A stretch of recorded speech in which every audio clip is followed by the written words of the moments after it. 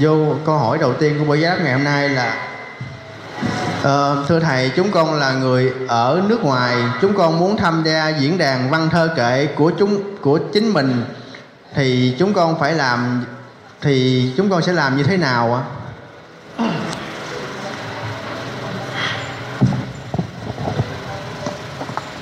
Ờ, ph- phải về đây được mới tham gia được mà thứ hai nữa là phải đưa cái bài ta kiểm duyệt trước chứ ờ, nói thì phải nói trong tánh Phật thôi chứ còn ba cái tánh của hồn đừng đưa vô. Nếu mình phải hiểu á, văn thơ kệ nó qua loại tánh Phật tánh người và tánh của hồn. Người nào được đủ tiêu chuẩn này thì mới vô được. Nhưng mà trước khi ấy á, phải trình bày cho người ta biết là có, nói nó có nó có lớn không? Của nó nhỏ nhỏ nó không nghe. Thì nó uổng cái diễn đàn của người ta. À, cứ về đây được. Thì ờ, uh, sẽ mời.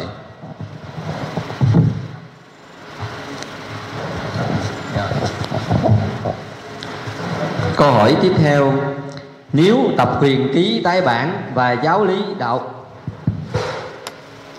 Nếu tập quyền ký tái bản và giáo lý đạo Phật được xuất bản Thì người ký giấy ờ, cho phép xuất bản có được công đức hay không?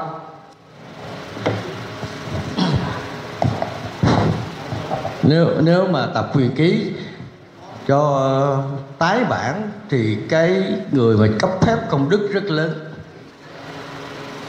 vì nó có liên quan đến này nè, khi mà tập quyền ký được tái bản, thì giáo lý mới được công bố ra. Còn nếu mà nếu mà quyền ký không cho tái bản, thì tập quyền ký vĩnh viễn chôn dưới thái bình dương luôn. Hoàn toàn không ai lấy được. Đợi trong ai Việt đa lấy lên, ông làm gì đó ông làm. Cái này là thời gian không còn dài. Nếu muốn đạo Phật mà muốn có giáo lý ngang bằng giác các tôn giáo khác thì bắt buộc tập quyền ký phải cho ra đời thì giáo lý mới ra đời được. Còn không thì tôi báo cho biết trước là đạo Phật sẽ tu mù tu không giáo lý. Tôi chứng minh chỗ này nè. Từ Phật từ Thiên Chúa, cao đài, hòa hảo hay là hầu giáo, hoàn toàn đạo nào có giáo lý hết vì thế mà các vị đi giảng đạo, mười ông giảng như một, không sai một chút nào. Giáo chủ mình nói cái gì người ta trả, ta dạy rất đúng, còn riêng cái đạo Phật. Mười ông giảng ra, một đề tài mười ông giảng một kiểu. Mà cái đạo Phật á, tinh hoa đạo Phật là cái giáo lý. Vì Đức Phật dạy căn bản từ con người dạng vật. Trái đất tam giới Phật giới càng khôn vũ trụ quy luật nhân quả luân hồi. Không có cái tôn giáo nào mà dạy về quy, quy luật nhân quả luân hồi hết. Mà đạo Phật có mà không cho thì thôi. Ông Phật đã dặn trong giáo lý rằng nếu giáo lý không được công bố ra thì vĩnh viễn chôn. Mà chôn không đi tìm được chứ không phải chôn mà chôn mà đi tìm được đâu nó phải hiểu cái chỗ đó, cái nguyên tắc đó. Vì thì tôi nhấn mạnh rằng nếu đạo Phật quyền ký không tái bản thì kệ giáo lý vĩnh viễn trùng thời gian không còn dài, vì tôi có nhiệm vụ không thời gian không dài đâu. Nay tôi bắt đầu chuẩn bị về 45 ngày nữa qua 81 thì thôi, bắt đầu hết rồi. Cái cái lực của tôi hết rồi, thì tôi bắt buộc tôi phải ngưng lại.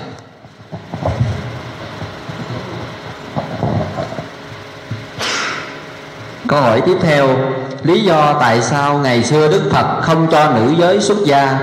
Trước đây con chưa hiểu thiền tông Thì con nghĩ là nữ giới bị nhiều nghiệp chướng, Khó giải thoát Nên Đức Phật còn phân biệt. Bây giờ con nghĩ xuất gia không giải thoát được Nên người nữ không cần phải xuất gia. Con nghĩ như vậy có đúng hay không? Đạo Phật là cái dạy ban đầu. Nói đúng là cái ban đầu Thì dạy cho hạn chế những người nào thích dụng công mà thành tựu cái này, thành tựu cái kia người ta mới tu. Nữ giới ngày xưa đức phật không cho xuất gia là có cái hai cái lý do trong mấy một. Xuất gia để làm cái gì, xuất gia để đi, khất thực không được. Người nữ không cho làm cái này. Rồi thứ hai nữa là khi mà ở trong rừng sâu, ở trong quan vắng người nữ không tiện ở được. Vì thế mà đức phật không cho, chứ không phải là mấy mà đạo phật ra đời để dạy người ta trở về phật giới, chứ không phải dạy làm chuyện khác. Vì thế mà đức phật phải dằn do đợi chứ mừng nó chín mùi hết rồi mới cho nữ xuất gia. Nhưng mà xuất gia khi mà người nữ có chỗ ở đàng hoàng, đức phật mới cho. Vì thế mà nghe trong cái đoạn thế này, đức phật nói bà di mẫu muốn xuất gia thì đức phật cho với điều kiện bà phải rủ bốn, năm người ở đây ở chung để tự lo cho cho nhau thì đức phật mới cho. Vì lý do này mà xuất gia xuất gia mình phải hiểu cái câu này, xuất là ra, gia là nhà. Bỏ nhà thế tục thì phải tìm cái nhà nào giải thoát. Chứ không phải mà ngày xưa đức phật không nói giải thoát không được, nói giải thoát không ai nghe thành ra ổng phải chần chờ chần chờ, đợi sau cùng ổng mới nói. Rồi bây giờ á, mà mấy ngàn năm sau mới nói cái vấn đề này. Trước khi ổng gần nhập niết bàn ổng vẫn nói cái pháp giải thoát này. Nhưng mà không ai nghe, lại chửi ổng rồi tới là ổng mong rằng tới đời mà văn minh, thật văn minh nói cái này người ta mới nghe. Nhưng mà văn minh văn chứ mày kêu bằng là giải ngân nhiều quá thì giải thoát không xài. Dục. Thành ông không nói. Rồi bây giờ thì ông có dặn trong quyền ký nói thế này. 40% tôi không nói là nói thế này nè. Khi con nói ra mà người ta chống đối nhiều thôi. Được, đừng nói. Thế tôn chỉ nhờ vậy thôi, chứ đừng có bướng mà chết ráng chịu á. Cái này ông muốn cứu vớt mà cứu là một số người nào muốn về Phật giới thôi. Chứ còn mà ta chống đối qua thôi bổn phận một vị Phật phải nói đủ sắp pháp môn. Rồi ai muốn tu kiểu gì tu, ai muốn lên trời, lên nước cực lạc muốn thầm thần, làm thánh gì thì cũng được hết. Ai muốn làm giảng sư rồi thì cũng được, chứ không phải không ai muốn giải thoát nhưng mà cái này nó phải hạn chế. Vì thế nó khó, cái đạo Phật thiền tông nó khó cái chỗ này. Nó khó là khó cái chỗ giải thoát. Cái đất này nó đang quay, nó quay vòng tròn ở đóng mà bây giờ muốn giải làm sao ngồi nó càng ngồi càng ngồi nó còn quay còn mạnh. Vì thế mà ông cho ngồi thiền là chỗ đó đó. Ông bảo tìm cách đi ra, chứ đừng có ngồi trong này mà làm gì đó, tìm cách đi ra. Vì thế ông giảng vậy thì bây giờ chùa Tân Diệu có nhiệm vụ là sao? Phải nói từ từ. Nói mười mấy năm nay rồi, nói từ từ. Bây giờ công bố quyền ký nay là được một năm à, hai tháng rồi, ba tháng rồi thì bắt đầu chuẩn bị khi hơi hết xong cái này mới diễn đàn nói ra nói cho hết. Thì cái diễn đàn này vừa nói xong thì chắc có lẽ là pháp môn này phải ngưng lại. Nó sẽ đi. Người nào có tâm tài lực mà rinh đi tôi mặc tôi thỉnh tôi tôi trao hết bản quyền cho đi. Phải có tâm tài lực đàng hoàng. À, còn tôi đây nó đúng ra cái lực tôi không có tôi còn có chút xíu à. Đụng tới nữa tắt thở luôn á thì thành ra tôi không dám làm nữa giờ là làm sao? Giờ giờ có nói nữa năm tới sao tôi nói nổi không? Tám hai tám ba sao nói? À, thành ra thì cũng mong rằng nếu mà có người nào có tâm tài lực nối tiếp đi tôi nói thật tất cả những gì mà có chùa lớn có uy tín lớn đến đây rinh cái pháp môn thiền tông thì tôi sẵn sàng tôi truyền hết. Thì cái gì đó, đó mới công đức rất lớn. Nhưng mà tôi đang tìm mấy người này mà không thấy người nào xuất hiện hết có xuất hiện tôi trao liền. Rồi câu hỏi tiếp đi. Dạ, câu hỏi tiếp theo. Khi chung ấm thân bị nghiệp làm à, bị nghiệp hút vào loài trứng xanh ví dụ như con gà thì chung ấm thân bị hút vào thân con gà mẹ. Hay khi con gà mẹ đẻ trứng ra rồi ấp trứng cái chung ấm thân này mới bị hút vào. Cái cái cái thai cái cái nõn xanh đó, nó nó khác hơn cái thai xanh cái nõn xanh thì ông thần cái cái này là ông thần kêu bằng à, thừa hành á. Ổng được quyền quăng vào cái trứng đó. Ổng được quăng lúc nào tùy ổng còn ở con con người thì phải bằng thai bằng cái ban đầu. Còn tất cả nõn xanh đều phải lúc nào tùy theo. Cái đó là tùy theo cái lực của ông thần. Nhiệm vụ của ông rất đặc biệt cái này nếu mà về sau mà giáo lý ra thì nói cái nhiệm vụ của ông thần rất rõ. Bây giờ nằm giáo lý chưa nói thì mình chỉ nói sơ thôi chứ không nói không nói chi tiết được. Rồi câu hỏi Câu hỏi tiếp theo Có trường hợp nào tinh cha nõn mẹ cuốn hút nhau Mà không có Phật tánh Hay chung ấm thân vào hay không? Nếu không thì thai nhi thì như thế nào? Nếu không có trù ấm thân không tính phật thì gọi là hư thai nó đều rõ ràng tới đó là hư sanh, sanh không được. Lên ta nó hư thai trong bụng mẹ là cái này nè. Cái gì nó phải đúng có hoạt động thì mới cái giống như là cái xe sản xuất đàng hoàng rồi không có động cơ sao chạy? Đó mình phải có đầy đủ hết. Vì thế mà thường thường người ta nó sảy thai là cái chỗ này nè. Không có đủ tiêu chuẩn là dẹp. Mấy ông chế tạo bởi vì tất cả trong cái cái cái tam giới đó khi mà trời tích dương quay cái vụ, quay cái cái, quay cái cái ờ, lỗ đen vũ trụ, đâu phải quay một cái đâu. Ông quay năm, bảy cái mới, một cái có đạt chuẩn, ông mới sử dụng cái này. Còn kia để từ từ nó tan mất. Nha, ông ra, ông điều hành cái càng khôn vũ trụ. Khi mà giáo lý ra rồi mới hiểu được cái vụ này, chứ không phải là cái lỗ đen vũ trụ có một cái đâu. Có nhiều cái có, nhưng mà có có cái cái xài được, cái này không xài được. Rồi, câu hỏi tiếp đi. Câu hỏi tiếp theo. Ngũ tổ hoàng nhẫn, Không có cha làm sao có thể thành thai nhi và lớn lên Và trở thành một con người được? Phải chú ý cuộc đời của ngũ tổ hoàng nhẫn đó.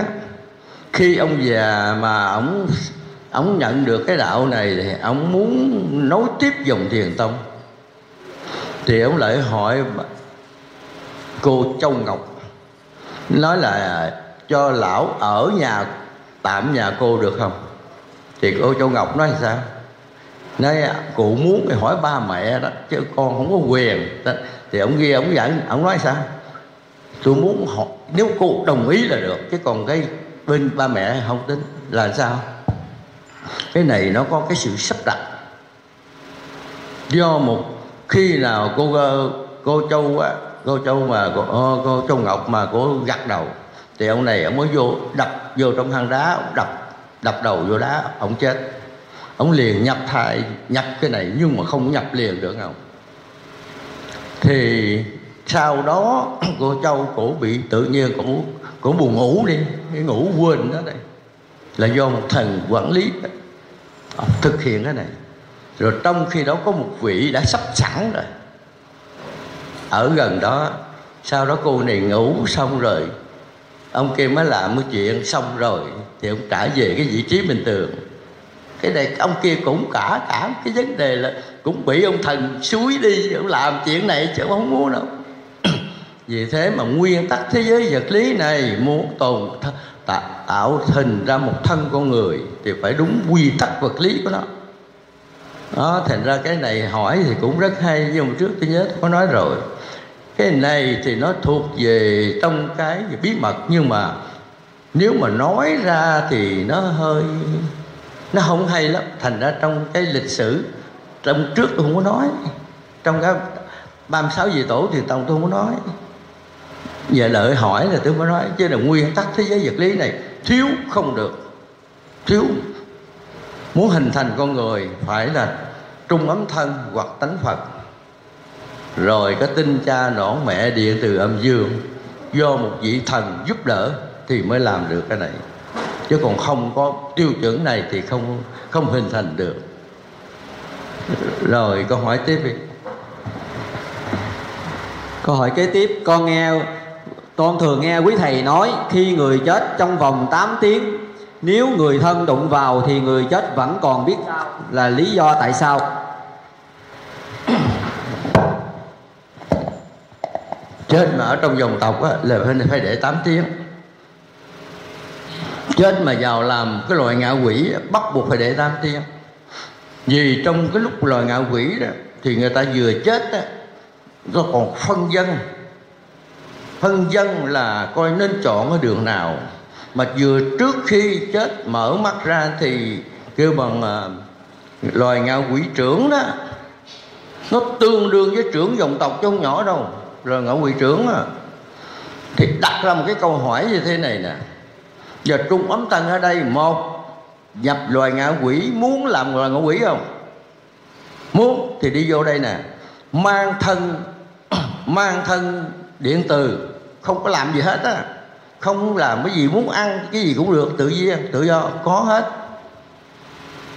Kể cả muốn nói cái gì nói, rất rất sướng. Có người lo ngã quỷ, dụ luôn á, dụ cho đi vào cái loại này luôn nhưng mà có nhiều cái tính không chịu, thì mới thể thích như này. Nếu muốn trở vô dòng tộc đầu đi làm người lại phải nên nhớ rằng mang thân tứ đại nha. Cái nhu cầu thân tứ đại rất lớn, chứ không phải nhỏ đâu ăn uống cũng phải lo ăn mặc cũng phải lo loài kia không có mặc áo mặc quần gì hết trời rồi nó điện từ mà à, mà giống mà giống gì ở thế gian này cái loài chim nó không có mặc quần mặc áo thì nó muốn bay đâu nó bay. Còn vô làm người mang thân tử đại bệnh phải chữa nha đói phải ăn nha. Ham muốn gì phải cho có nha tướng phải nhu cầu. Muốn vô không? Vô làm bệnh trưởng vô, ơi cái bằng loài ngao quỷ trưởng, bảo là, nếu mà vô đây mà bày đặt làm cái chuyện tầm bậy tầm bạ nữa, nó đẩy ông xuống địa ngục à chịu không? Nó hù đủ thứ mà không chịu, cũng vô vô. Nó thôi, tôi vô làm người, sướng hơn. Luôn ngạo quỷ và vật không thích. Thành ra cái loài ngạo quỷ, hồi nãy, cái loài ngạo quỷ này, vô á, nếu mà vô trong cái giáo lý rồi, nó nói nó nói cái này ai mà đọc được cái này rồi ờ, muốn làm người không dám lời nữa. Nhưng mà bây giờ sao? Nếu muốn trở về phật giới phải là con người mới về được. Tất cả loài kia không về được. Nó khổ là khổ cái này rồi. Thành ra có, có nhiều khi là trọ trưởng lời ngạ quỷ cũng có nói cho biết cách để đi về nhưng mà vô quên. Bị chui vô cái tử cung mẹ đi ra quên hết trời trời không nhớ gì chứ nhớ nhớ tiền không chứ nhớ vàng tiền không? Nhớ nhà lầu không? Đi ra gặp cái này là thua. Yeah hình đó nó khó khó thì vô lời ngã quỷ khi mà cái giáo lý mà nó đưa ra này, cái phần này, cái phần này phân tích rất rất tỉ mỉ. Ráng đi giờ nghe sơ sơ thôi, chứ đừng nào giáo lý ra rồi nghe cho rõ. Câu hỏi kế tiếp. Con thường nghe quý thầy nói, một một câu là một ngọn lửa sân thiêu cả rừng công đức. Vậy câu này xin bác giải thích giúp con một ngọn lửa xanh thiêu cả rừng công đức. Bây giờ nói đúng tại người ta tại vì tôi nói là không có giáo lý nó tầm bậy tầm bạ đâu. Công đức làm gì thiêu nữa không có giáo lý mới nói tầm bậy tầm bạ. Có giáo lý không dám nói câu này. Phước đức thiêu được, công đức hoàn toàn không thiêu được. Lửa ta mũi còn đốt chưa nổi mà chứ. Và cái và cái sân si này ăn nhầm mẹ gì? Bởi vậy nó là đạo Phật không giáo lý, thì nó nói tầm bậy tầm bạ, đi giảng nói tầm bậy tầm bạ bởi vì ta không hiểu cái công đức là cái gì, phước đức cái gì, thì ta nên nói giảng vậy. Công đức làm gì thiêu cái trong đất nó là vĩnh viễn. Công đức nó tương, ở ở thế giới vật lý này, công đức nó quý nhất không có cái gì phá phá nổi nó được. Giống như giống như cái tánh thấy, tánh nghe, tánh cái ý phật á, trong thế giới này không làm gì nó rồi. Nhưng mà tại vì nó có cái thuật, nó cái thuật nó bao lại, thành nó không nhớ.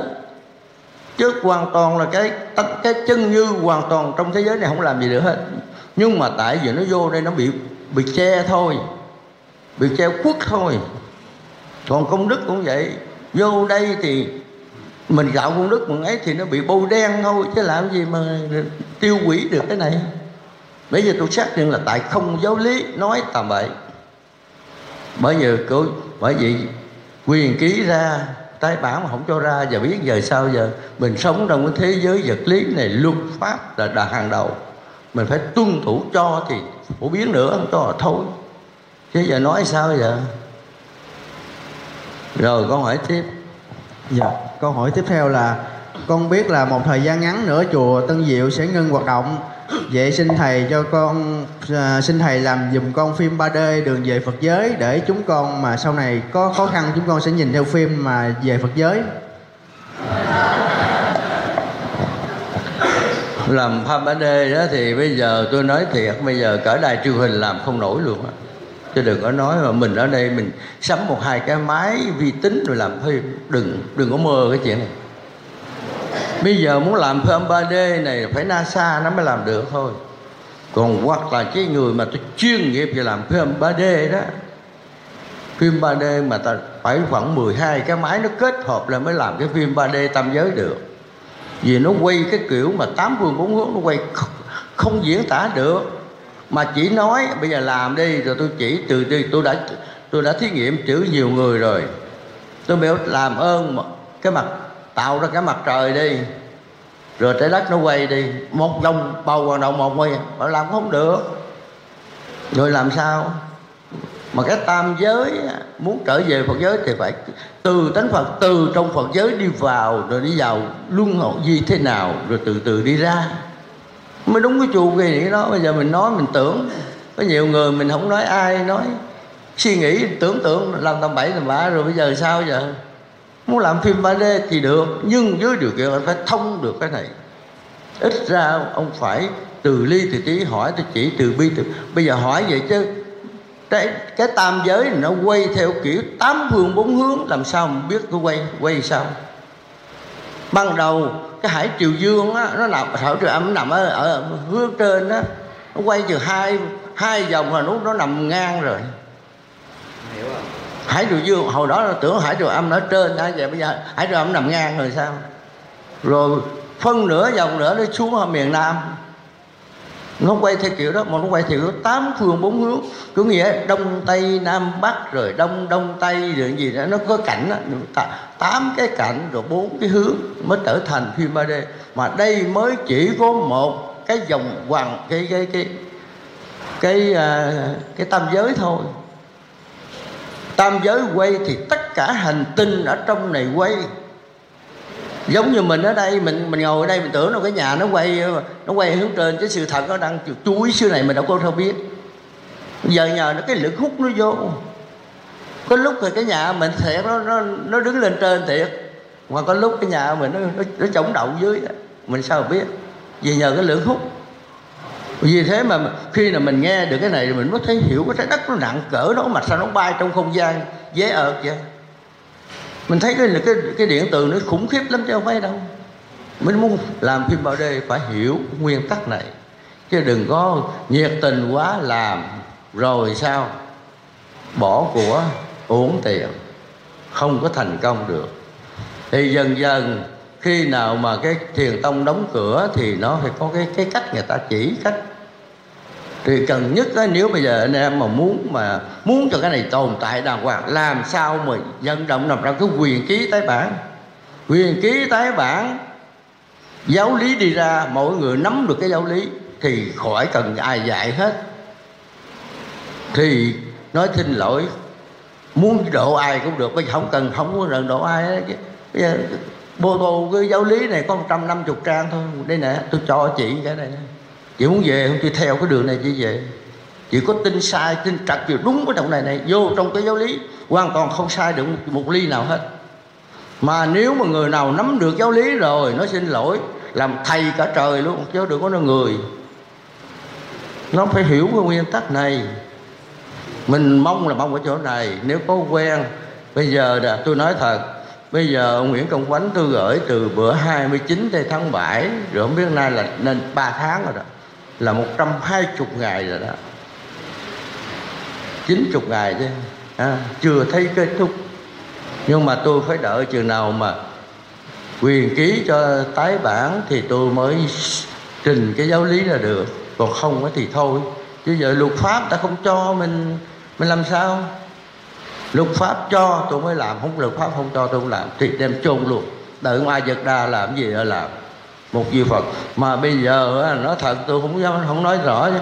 Cái quyển giáo lý này, chính ông phật chưa chưa chưa chưa ra đời được. Chính ông Phật đó. Mong ông ông Phật ra thứ 10 có ra.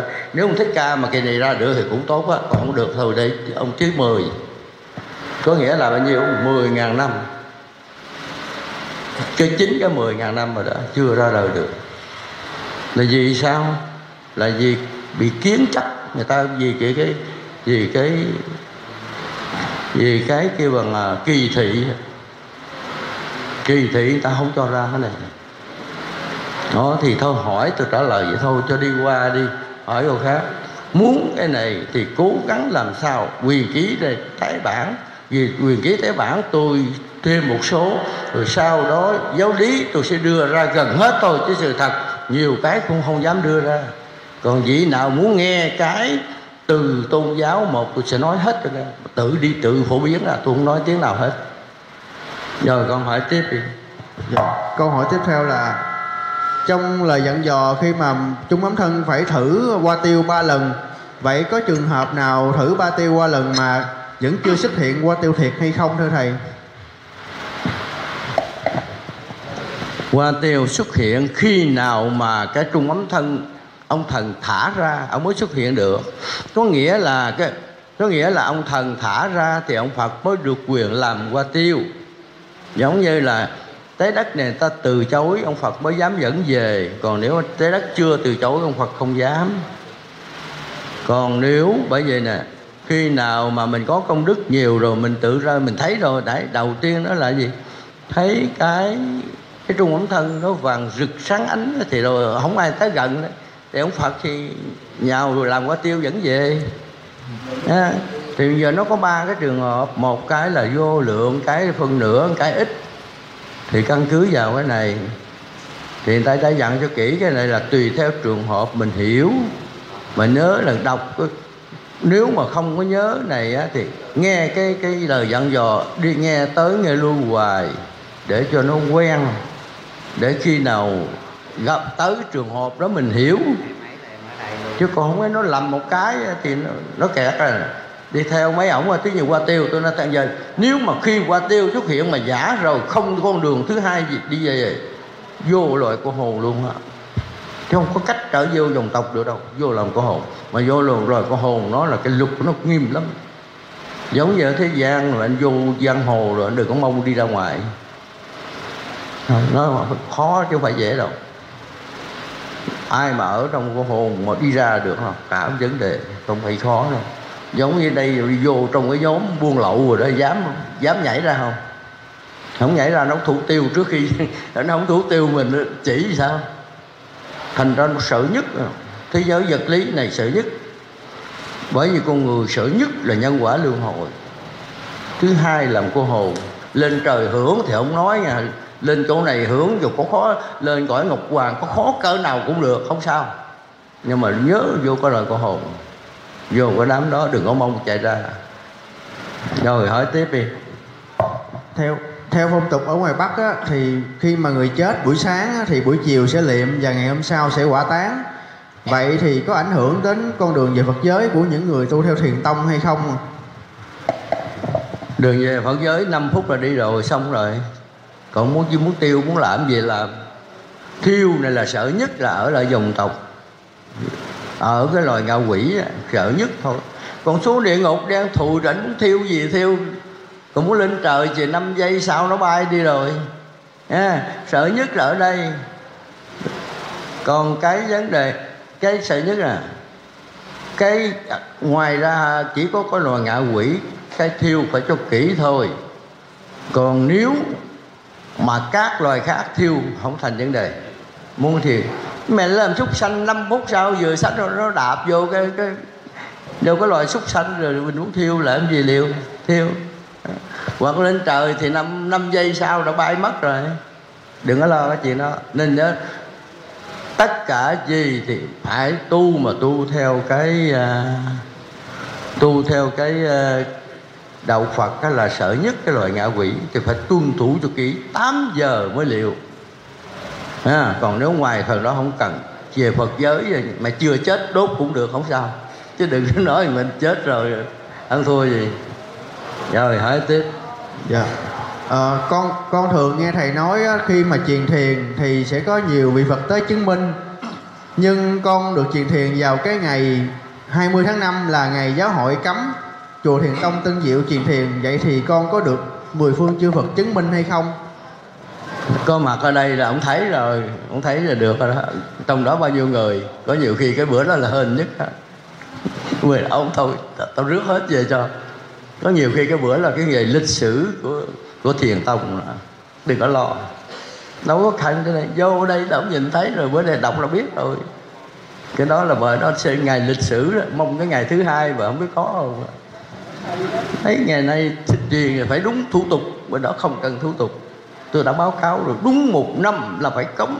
Ông Phật đã nói trước mấy ngàn năm, thì bây giờ ông có bổn phận mới trở lại đây coi, người nào nằm ở trong cái dạng này tôi rước về liền. Thấy không? tôi khỏi cần, khỏi làm gì hết. Mấy người đó là trong, mấy người, mấy chục người ngày đó là gọi lịch sử lịch sử của thiền tông. Rồi con hỏi. Yeah. Ờ, những người sống ở Việt Nam không tu được giải thoát mà ở trong dòng tộc vậy khi mà họ chết thì họ có theo dòng tộc qua những những châu khác hay không? Ví dụ như châu Âu hay là châu Phi châu Mỹ hay không ạ? Mình nên nhớ một điều là cái dòng tộc không phải là có một nước. Tôi nói thật trái đất này có bốn dòng tộc thôi không có nhiều đâu. Còn cái họ đó mỗi một nước có hàng trăm họ hàng chục họ phải không?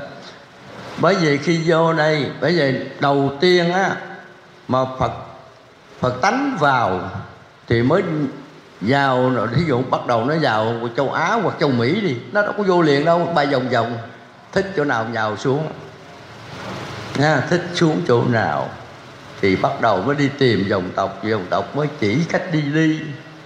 Có nghĩa là một dòng tộc không phải là một nước mà trên thế giới này chỉ có bốn dòng tộc thôi.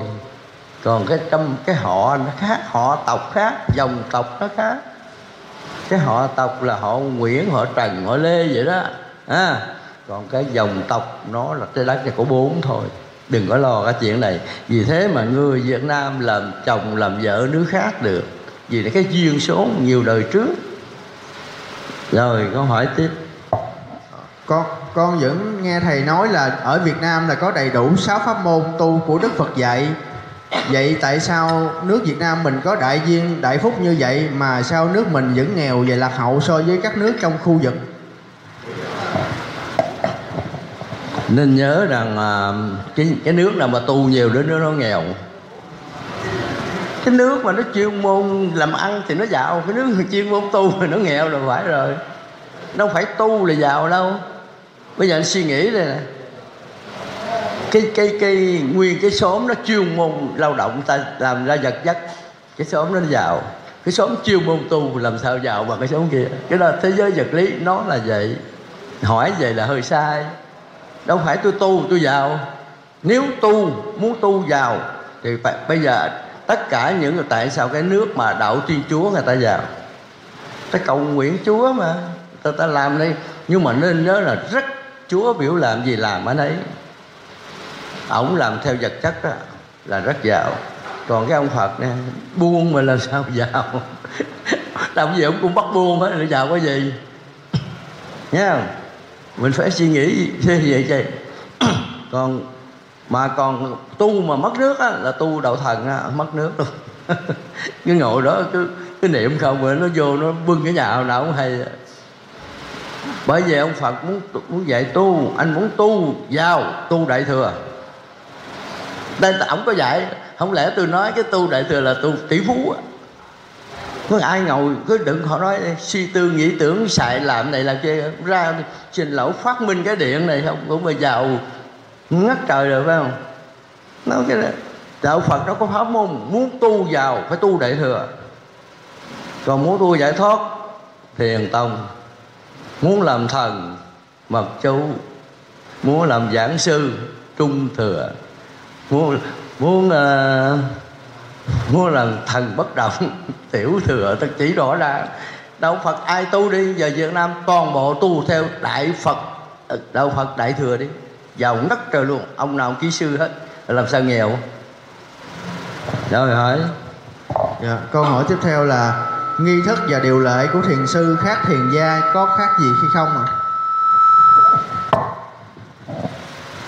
Thiền sư là nói là một vị là có tu, rồi có được quyền. Nếu cái thiền sư, thiền gia nó khác rồi thiền gia không được quyền đi giảng nha. Chỉ có được ngồi đây nói chuyện trên trời đất cho tôi hỏi trả lời. Thiền sư được quyền làm cái này, đi giảng đạo. Thiền gia không được quyền giảng. Thiền gia là một nhà thiền chuyên nghiên cứu về thiền. Anh chỉ được quyền nói trong nhà thôi. Ai tới nhà anh hỏi, anh trả lời. Anh không được quyền đi giảng. Thiền sư được quyền làm cái này. Tôi là sư mà. Thì tôi được quyền. Nhưng mà nên thiền sư phải cho đúng. Còn đi giảng mà không biết thì thôi, làm thực chặt ráng chịu. Quy luật nhân quả luân hồi. Thiền sư đúng, phải hiểu cho rõ 12 phần giác của của đạo Phật và một công thức trở về Phật giới phải cho hiểu cái này mới gọi là một thiền sư. Còn nếu mà hiểu có hai ba chữ nó sư thiền sư nó quật ráng chịu à. Nhân quả luân hồi nó quật chết ngửa ráng chịu à. Đó nó chứng minh rõ ràng chứ không phải ấy đâu. Rồi hỏi tiếp đi. Ờ, thiền thiền gia khi bị bệnh hoạn đau ốm có nên đi bác sĩ bệnh viện hay không? Hay là khi chết có được tự tịch diệt được hay không? Bệnh ít thì bác sĩ bệnh nhiều thôi đi nên nhớ là nếu mà trái đất này mình sống á, thiền gia thiền sư cũng vậy thống bằng thế giới vật lý. Anh biết nếu mà cái thể mình kêu bằng trong đạo phận nó có cái lục diệu pháp môn để mà làm hơi thở để mà tạo cho sức khỏe. Mình không khả năng này thì thôi nhờ mấy viên thuốc nó nhét vô cho nó hết. Còn nếu mà thấy mà nó bị ung thư thôi dẹp tôi ở đây ngồi nín hơi rồi đổ đi mình phải dậy mới ra ăn. Chứ còn chút xíu có nhiều người nhà tu nói xin lỗi mẹ tu già rồi mà gần chết rồi khóc. Tại, tu già chết khóc khóc gì? Nó bây giờ anh có khóc nó cũng chết. Thì thôi cười cho nó cười cho nó quay với người ta. Đó, mình phải hiểu người tu ta phải hiểu cái này. Còn trẻ thì bệnh không lẽ xe đụng gãy giò ngồi nó thiền cho nó hết gãy không có chuyện đó đâu. ví dụ kia nó nó nó khoan nó kẹp mấy cái thì nó hết. Mình phải vật lý phải súng đục chân lý. Nha. Còn khi mà nó mà nó kiệt quệ quá đừng có làm.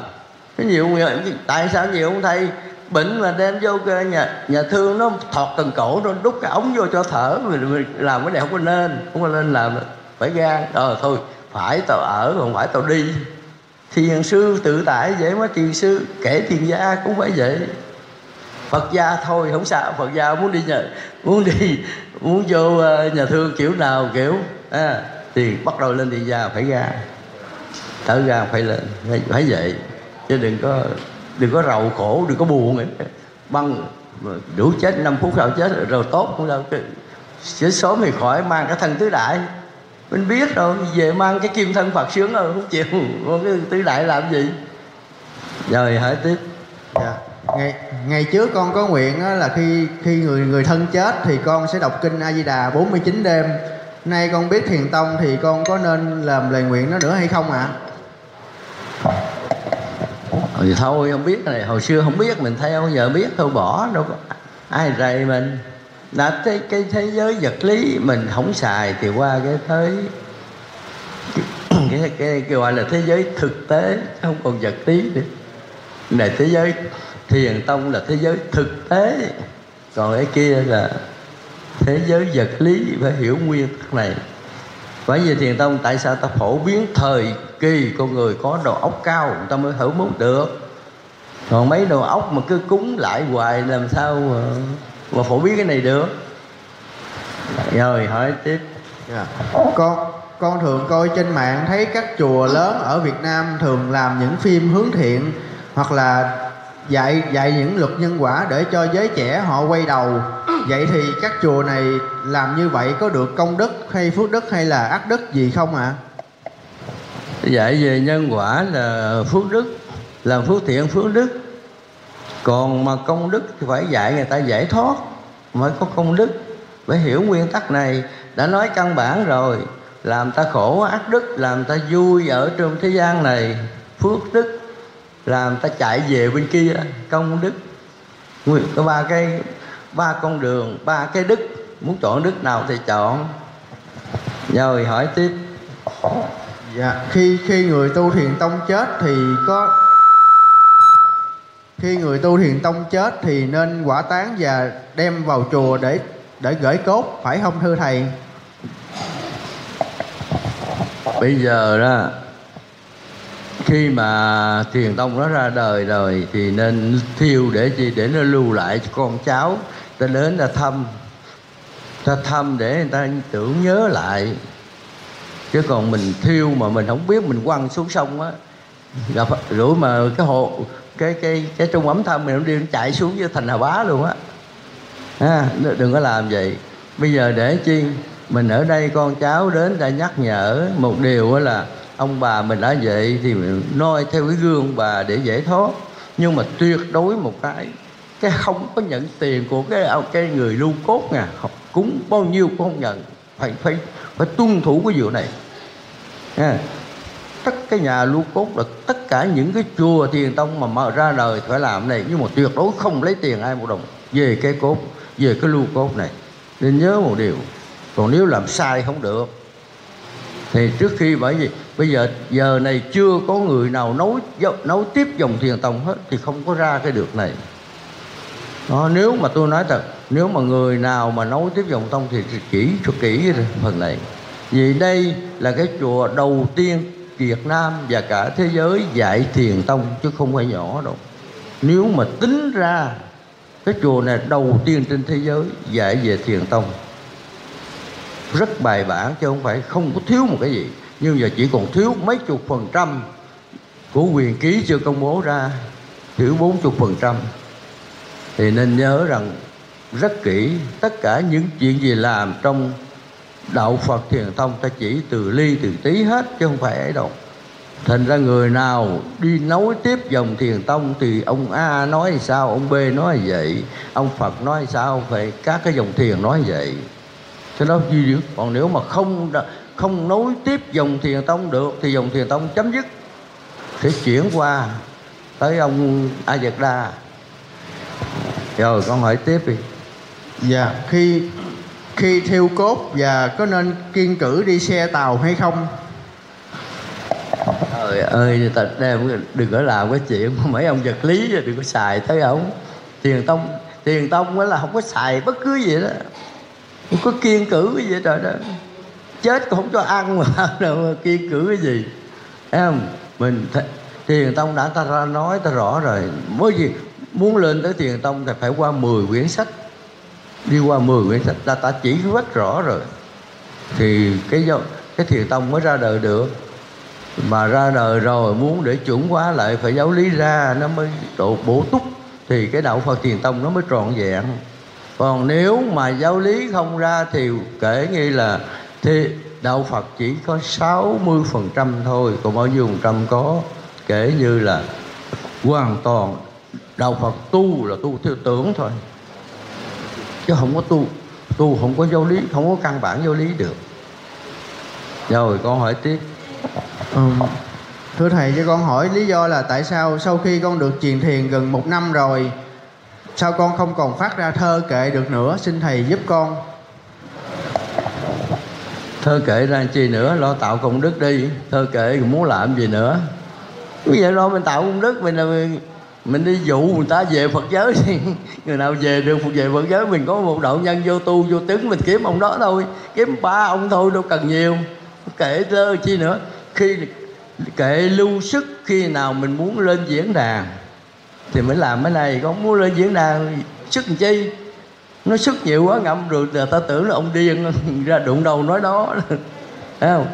Đừng có lo. Giờ không rồi biết này thì làm ơn. Một, một năm một tiếng một người cũng được nhưng mà cái người đó phải đẩy vô phật giới đó. Thì tốt.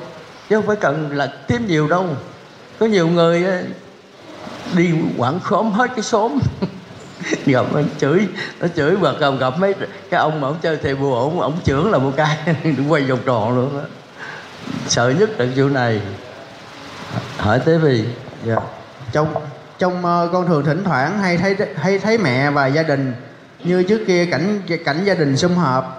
Nay mẹ con không còn nữa nhưng con vẫn nằm mơ thấy lại những cảnh trước kia gặp mẹ. Thì nó là ý nghĩa như thế nào ạ? À? dạ. Thì chúc mừng mẹ con khỏi bị nhân quả ở ngoài. Biết không chúc mừng mẹ không bị nhân quả ở ngoài nhân quả. Ngoài nhân quả nhưng mà còn trong trái đất này, chứ không có chịu ra ngoài. Bây giờ nếu muốn mà giúp mẹ vậy đó thì làm ơn mẹ ơi. Đem à, đem cái bài kính à, tiễn kinh à, tiễn Phật gia đó ra đọc cho mẹ nghe. Chừng ba lần mà hết, ba, giờ hết xuất hiện á rồi hỏi tiếp đi. Dạ. Ờ, gia đình con vợ chồng con vợ ờ, gia đình của con thì con cái và chồng của con thì không có tu theo thiền tông chỉ có một mình con tu theo thiền tông. Vậy có cách nào giúp cho gia đình của bên con tu theo thiền tông hết được hay không? Ở đây là mỗi người sống theo cái nghiệp. Ai nghiệp gì thì đâu ví dụ cái nghiệp làm cha mẹ vợ chồng thì có thời gian thôi. Gọi là duyên nghiệp được bao nhiêu thì xong thôi mình lo mình đi. Nên mà qua mình đi trở về qua bển rồi trở về dùng phật nhãn muốn nói gì nói. Rồi đây mình mình lo mình chưa xong mà đấy. Có nghĩa là mình cũng giúp nhưng mà nói cách vừa phải thôi. Bây giờ hỏi chứ mẹ mình trả nghiệp cho mình làm nuôi nuôi nuôi là bao nhiêu năm xong thôi. Thấy không? Rồi bà còn chạy xô nữa chứ không lẽ mình phải, phải lo hoài. Mình phải hiểu cái thế giới này là thiếu giới nhân quả tạo bao nhiêu nhân quả trả đủ thì phải đi. Ông thần ông dẫn đi. Xong rồi, bà làm xong rồi bà đi. Đi bà chạy xô khác. Ông cũng vậy. Ông đã xong rồi, ông chạy xô khác. Còn ông muốn chạy xô khác, ông kiếm cái chùa tân diệu. Chùa chùa tân diệu, ông tu cái tiền tông, ông chạy. Ông chạy ra. Chứ còn vô cua là ông chạy xô nữa đó. Trái đất đây gọi là chạy xô. Chứ không có chạy đường nào, đừng có đừng có cầu mong phải đó đừng có thấy mình lo cho mình cho xong đi. Bây giờ nói thật á, mình cứ xong mà mình tu mà nó nó hoàn chỉnh rồi thì xin lỗi. Bà con dòng họ ai cũng phải đi kiếm mình. Vậy nó mới là hay đó. Chứ đừng có lấy, đừng có lo. Thế giới thế giới nhân quả, mẹ mình có nhiệm vụ nuôi th- thời gian giờ là xong rồi thôi rồi. Bà hết nhân quả rồi bà. Còn hoặc là nuôi rồi, mai mốt nuôi lại bà đều trả nợ. là thế giới nhân quả mình phải hiểu cái nguyên tắc đó. Chứ đừng có mong cái gì đừng mong cái gì cao sang hết á. Giờ hỏi tiếp.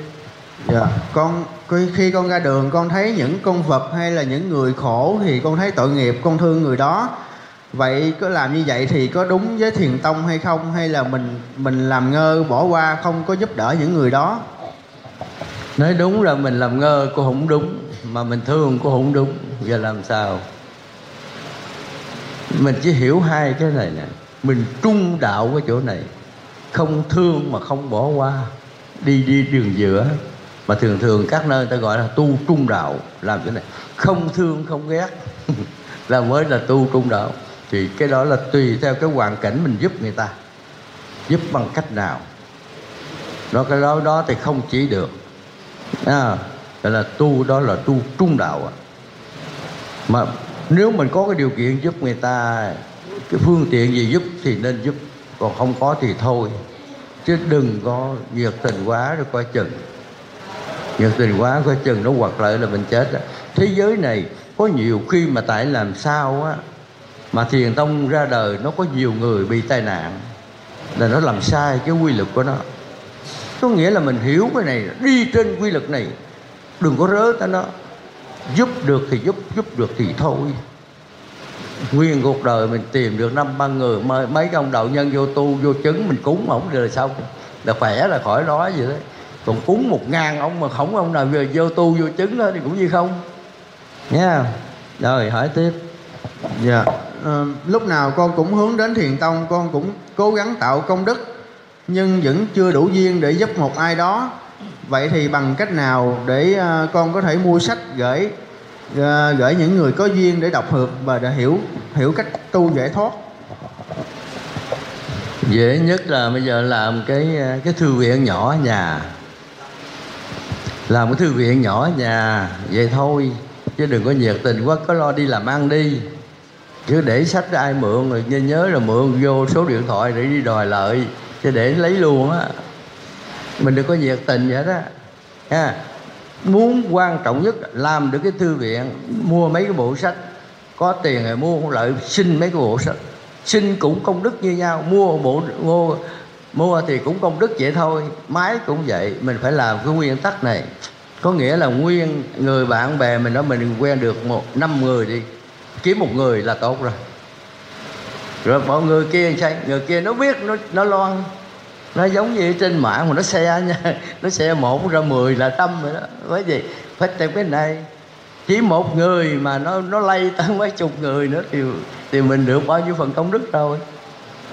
Phải hiểu nguyên tắc này. Giờ hỏi tiếp đi.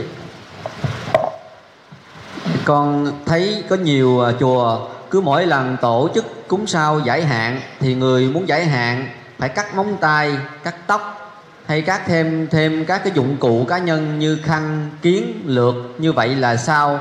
Vậy nó có ảnh hưởng gì hay không? Thôi cái chuyện của người ta đừng có xen vô. Chuyện thế gian cái của người ta à. người ta muốn làm gì ta làm muốn ờ, cắt móng tay móng chân cạo đầu chuyện của người ta à, mình không xen vô. Mình thiền tông tôi chỉ trả lời là làm sao tạo công đức. Còn cái chuyện đó, đó thì nếu nói thật là tin không đúng là sao là tin lầm á chứ không dám nói mê tín. Tin lầm.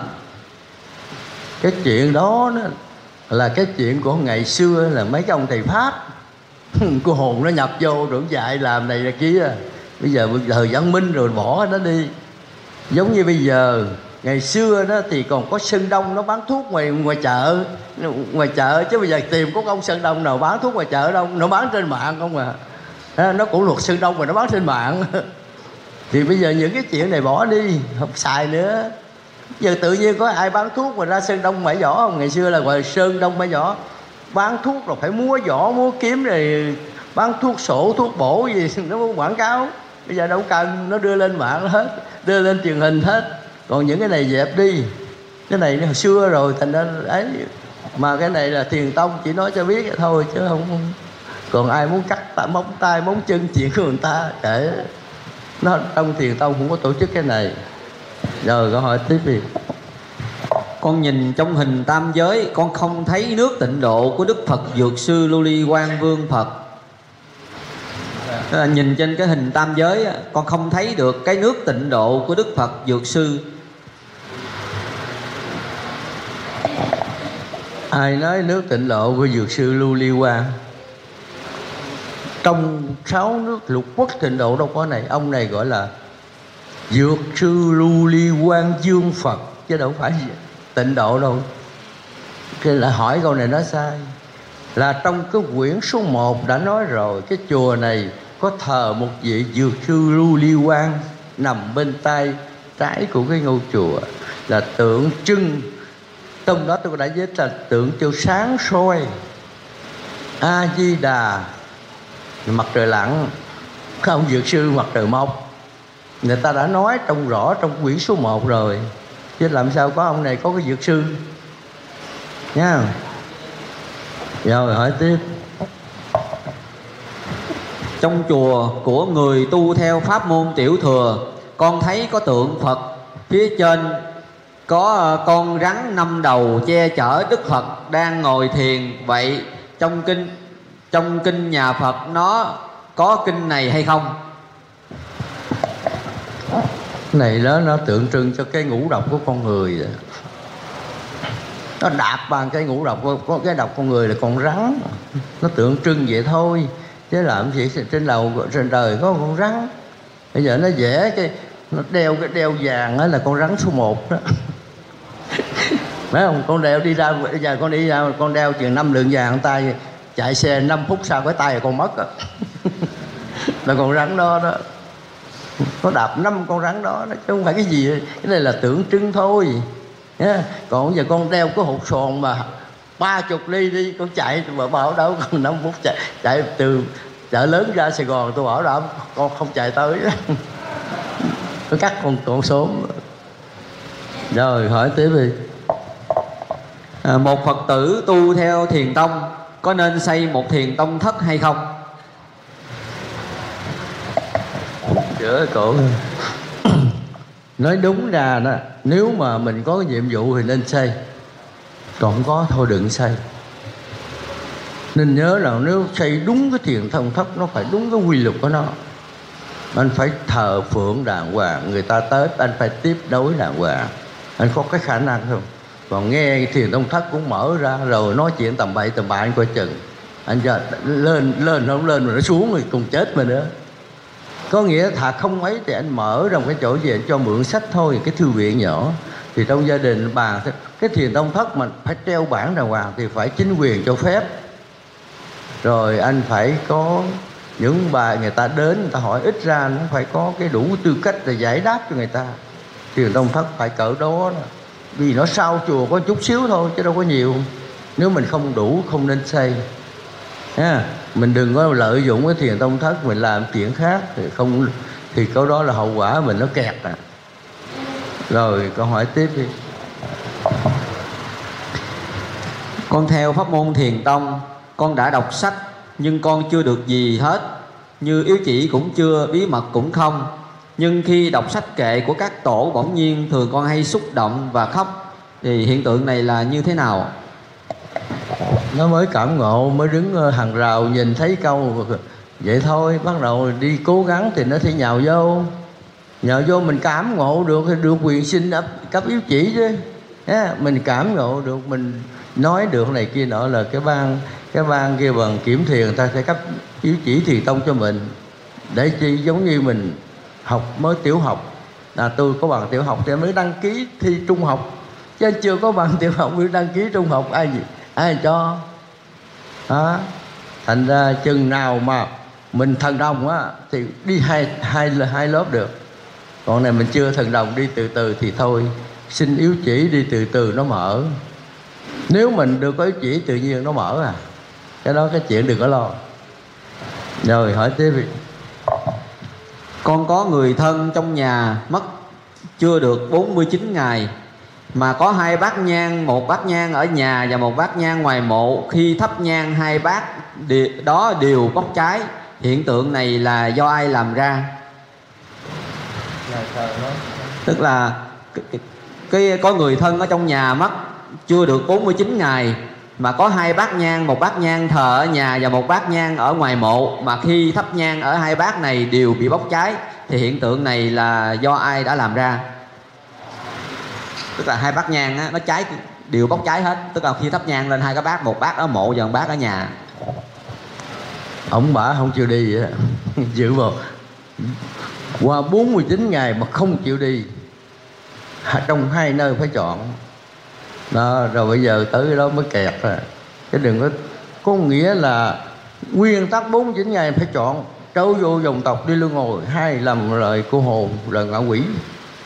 Mà không chịu. Thành ra nó đưa ra những cái hiện tượng này nè. Thì cái chuyện thì thôi, đem kinh tụng cho mẹ nghe, giờ mẹ đi đâu? Cha đi đâu? Thì nó năn nỉ. Năn nỉ rồi thì mình nên nhớ phải cúng một cái bực tôi lớn, thật lớn, tự nhiên nó hết ông quả đồng ý đi á. Cứ mừng mời ông quả đi. Quy lực luân hồi không có ngồi tại đổ được. Bắt buộc phải đi chứ không ở ở đây được. Không lẽ là không lẽ là ở trong nhà hoài không được mà không phải ngoài mộ ngoài được. Ô, phải hiểu này là không chịu luân hồi. Mà giảng sanh không giảng sinh mà các tầng dưới không xuống mà cứ ở cái dòng ở trong cái loài ngạo quỷ này cái vòng vòng hoài. Ngạo quỷ mới làm cái chuyện này. Còn nếu mà vô dòng tộc không có làm được vô dòng tộc rồi rồi. Năm phút sau ở lê hốt đi. Giống như anh vô lính nè, tới tới ờ, đổi canh ca thì anh phải thay ca chứ anh phải khỏi ngồi đây ngồi chơi sơ nước được. Đi, phải đi. Còn vô dòng tộc là khác. Vô dòng tộc, vô loài có hồn, phải đi theo cái quy luật luân hồi, luân hồn chứ không phải. Còn cái này là ông bà không chịu đi, coi chừng là phải phải cúng cho lớn rồi năn nỉ. Thế giới này nó là vậy, ba mẹ ơi không có ngồi đây đây không có làm hiện bính không có hiện hình biến tướng được. Hình hình biến tướng là nó trở thành của hồn luôn. À, một là để ráng đi. Giờ thiền tông đang ra đời ráng đầu thai lợi đi học đi rồi đi giải thoát với người ta. Còn không hay là 10 ngàn năm nữa. Chứ đâu phải cúng và nói cho nghe. Chứ không phải rồi năn nỉ cho ba mẹ nghe. Chứ không phải ngồi đó mà cứ hiện hình biến tướng làm này làm kia rồi biến thành cô hồn hết rồi con hỏi tiếp. Dạ câu hỏi tiếp theo là, xin thầy giải thích cho con bốn câu kệ trong pháp bảo đàn là khéo phân biệt các tướng để nhất nghĩa bất động. Nếu ngộ được điểm này, đó là chân như dụng. Vậy ý nghĩa của bốn câu này là như thế nào? Dạ khéo phân biệt các tướng để nhất nghĩa bất động. Nếu ngộ được điểm này, đó là chân như dụng. Bây giờ á mình hiểu được cái nghĩa bất động là cái gì? Cái nghĩa, là cái nghĩa thật. Bất, bất động là không động là nó là thanh tịnh. Hiểu được cái thanh tịnh này thì nó nó nó đồng nó đồng đồng bằng tánh Phật. Trong kinh pháp đàn nói thật ra người ta dịch nó sai khoảng 60 phần trăm cái cái ngôn ngữ. Ông hồi xưa đó là ngày pháp ờ, ông ờ, thần hội, ông viết cái kinh pháp bảo đàn này rất đúng, nhưng mà về sau dịch lại, nó dịch sai 60 phần trăm cái nghĩa. Thành ra nhiều cái cái danh từ nói không có đúng, nhưng mà thôi bây giờ người ta lớn, người ta dịch, không lẽ giờ nói vậy tôi nói xin lỗi những cái bộ kinh trường a hàm, trường bộ dịch hoàn toàn rất sai. Mà thôi giờ nói gì, cái chuyện của người ta. Mà bây giờ thiền tông ra đời chỉ cái từ, cái chân thật thôi, chỗ nào hỏi tới đâu thì tôi trả lời tới đó. Cũng như kinh, nếu mà tu mà nói về tu trong các kinh, thì kinh ta nói rất rõ, nhưng mà mấy ông cố tình ông chịu nghe. Bây giờ, chùa nào không có kinh kim cang, mà cái đem kinh tụng hoài? Nghe không? Thành ra người ta không có hiểu. Chùa nào không có kinh diệu pháp liên hoa, mà không hiểu kinh diệu pháp liên hoa dạy cái gì? Cứ đem kinh ra tụng hoài. Rồi sao? Rồi con hỏi tiếp đi. Cái phần đó thì nó đúng là nó dạ, nó sai rất nhiều nhưng mà không có mình tiền tông không có chỉnh được cái này. Chỉ mà hỏi tới đâu trả lời tới đó thôi chứ không được quyền làm cái này. Rồi hỏi tiếp. Câu tiếp theo là uh, thưa thầy tại sao ảnh của các vị phật các vị bồ tát thường ở phía sau gáy có hình tròn? Sau gáy vậy cái này là cái hào quang của các vị ấy đúng hay không ạ? à? Thường thường ở đó là cái đó là cái thiên nhãn nó thông á gọi là cái người nào mà có cái đó nó gọi là thông thiên nhãn. Cái tượng đó đúng ở trong cái quyền ký nó là cái đó là thông thiên nhãn. Vì thế mà đức phật ấn vào trong cái tâm của cái cái cái, cái trán của người đó, đó thì cái cái thông thiên nhãn nó mở. Nó thông thiên nhãn nó không phải mở chỗ này đâu mà nó mở rồi nó mở ở đằng sau á. Thành ra ông ấn chỗ này thằng, thằng kia mở đó là cái cái gọi là thông thiên nhãn. Mà nói là là Phật nhãn mở ra mở mở chỗ đó đó. Còn người ta không hiểu người ta tưởng đâu tưởng đâu nó mà ở ngay chỗ cái tâm tin nó không phải chỗ đó. Rồi hỏi tiếp đi. Dạ ờ, trong trong kinh đức phật có nói là hãy tự thắp đuốc lên mà đi. Và trong thiền tông có nói là nhất tự thiền. Vậy hai câu này là giống nhau hay là khác nhau? Trong kinh thắp đuốc lên mà đi nhưng mà nồi mồi đuốc từ của như lai. Chứ phải thắp đuốc đi đi gì? Mà từ cái gì? Là mười cái mồi đuốc của như lai là, 12 phần giác của đức phật á. Cái đuốc của đức phật là 12 phần giác. Còn thập nhị giác. Mồi mồi cái đuốc đó đó. Nha còn nếu mà có cái đuốc mà không mời mời mồi đuốc phật thì mồi cái gì? Thì thấp cái cái lửa thế gian này đi đâu, đi đi đừng cái té xuống bờ ruộng thôi chứ đi đâu. Thắp bút từ đuốc của như lai là, đuốc như lai là gì? Là công thức trở về phật giới và 12 phần giác của đức phật. Gọi là thập nhị giác. Đuốc như lai là cái chỗ này nè. Mà bây giờ có ai hiểu 12 phần giác không? Hoàn toàn, không không ai hiểu. Rồi, câu hỏi tiếp. Dạ con con có nghe trên mạng, nghe hòa thượng tịnh không nói rằng là dùng một câu danh hiệu này đánh thức tự tánh của chúng ta, tìm trở lại tánh đức của chúng ta, thể dụng của tự tánh chúng ta hoàn toàn không bị mất, chỉ làm sao, vậy làm sao chỉ mê mà thôi. Dùng một câu phật hiệu để phá vỡ cái cửa mê này như vậy là có đúng hay không?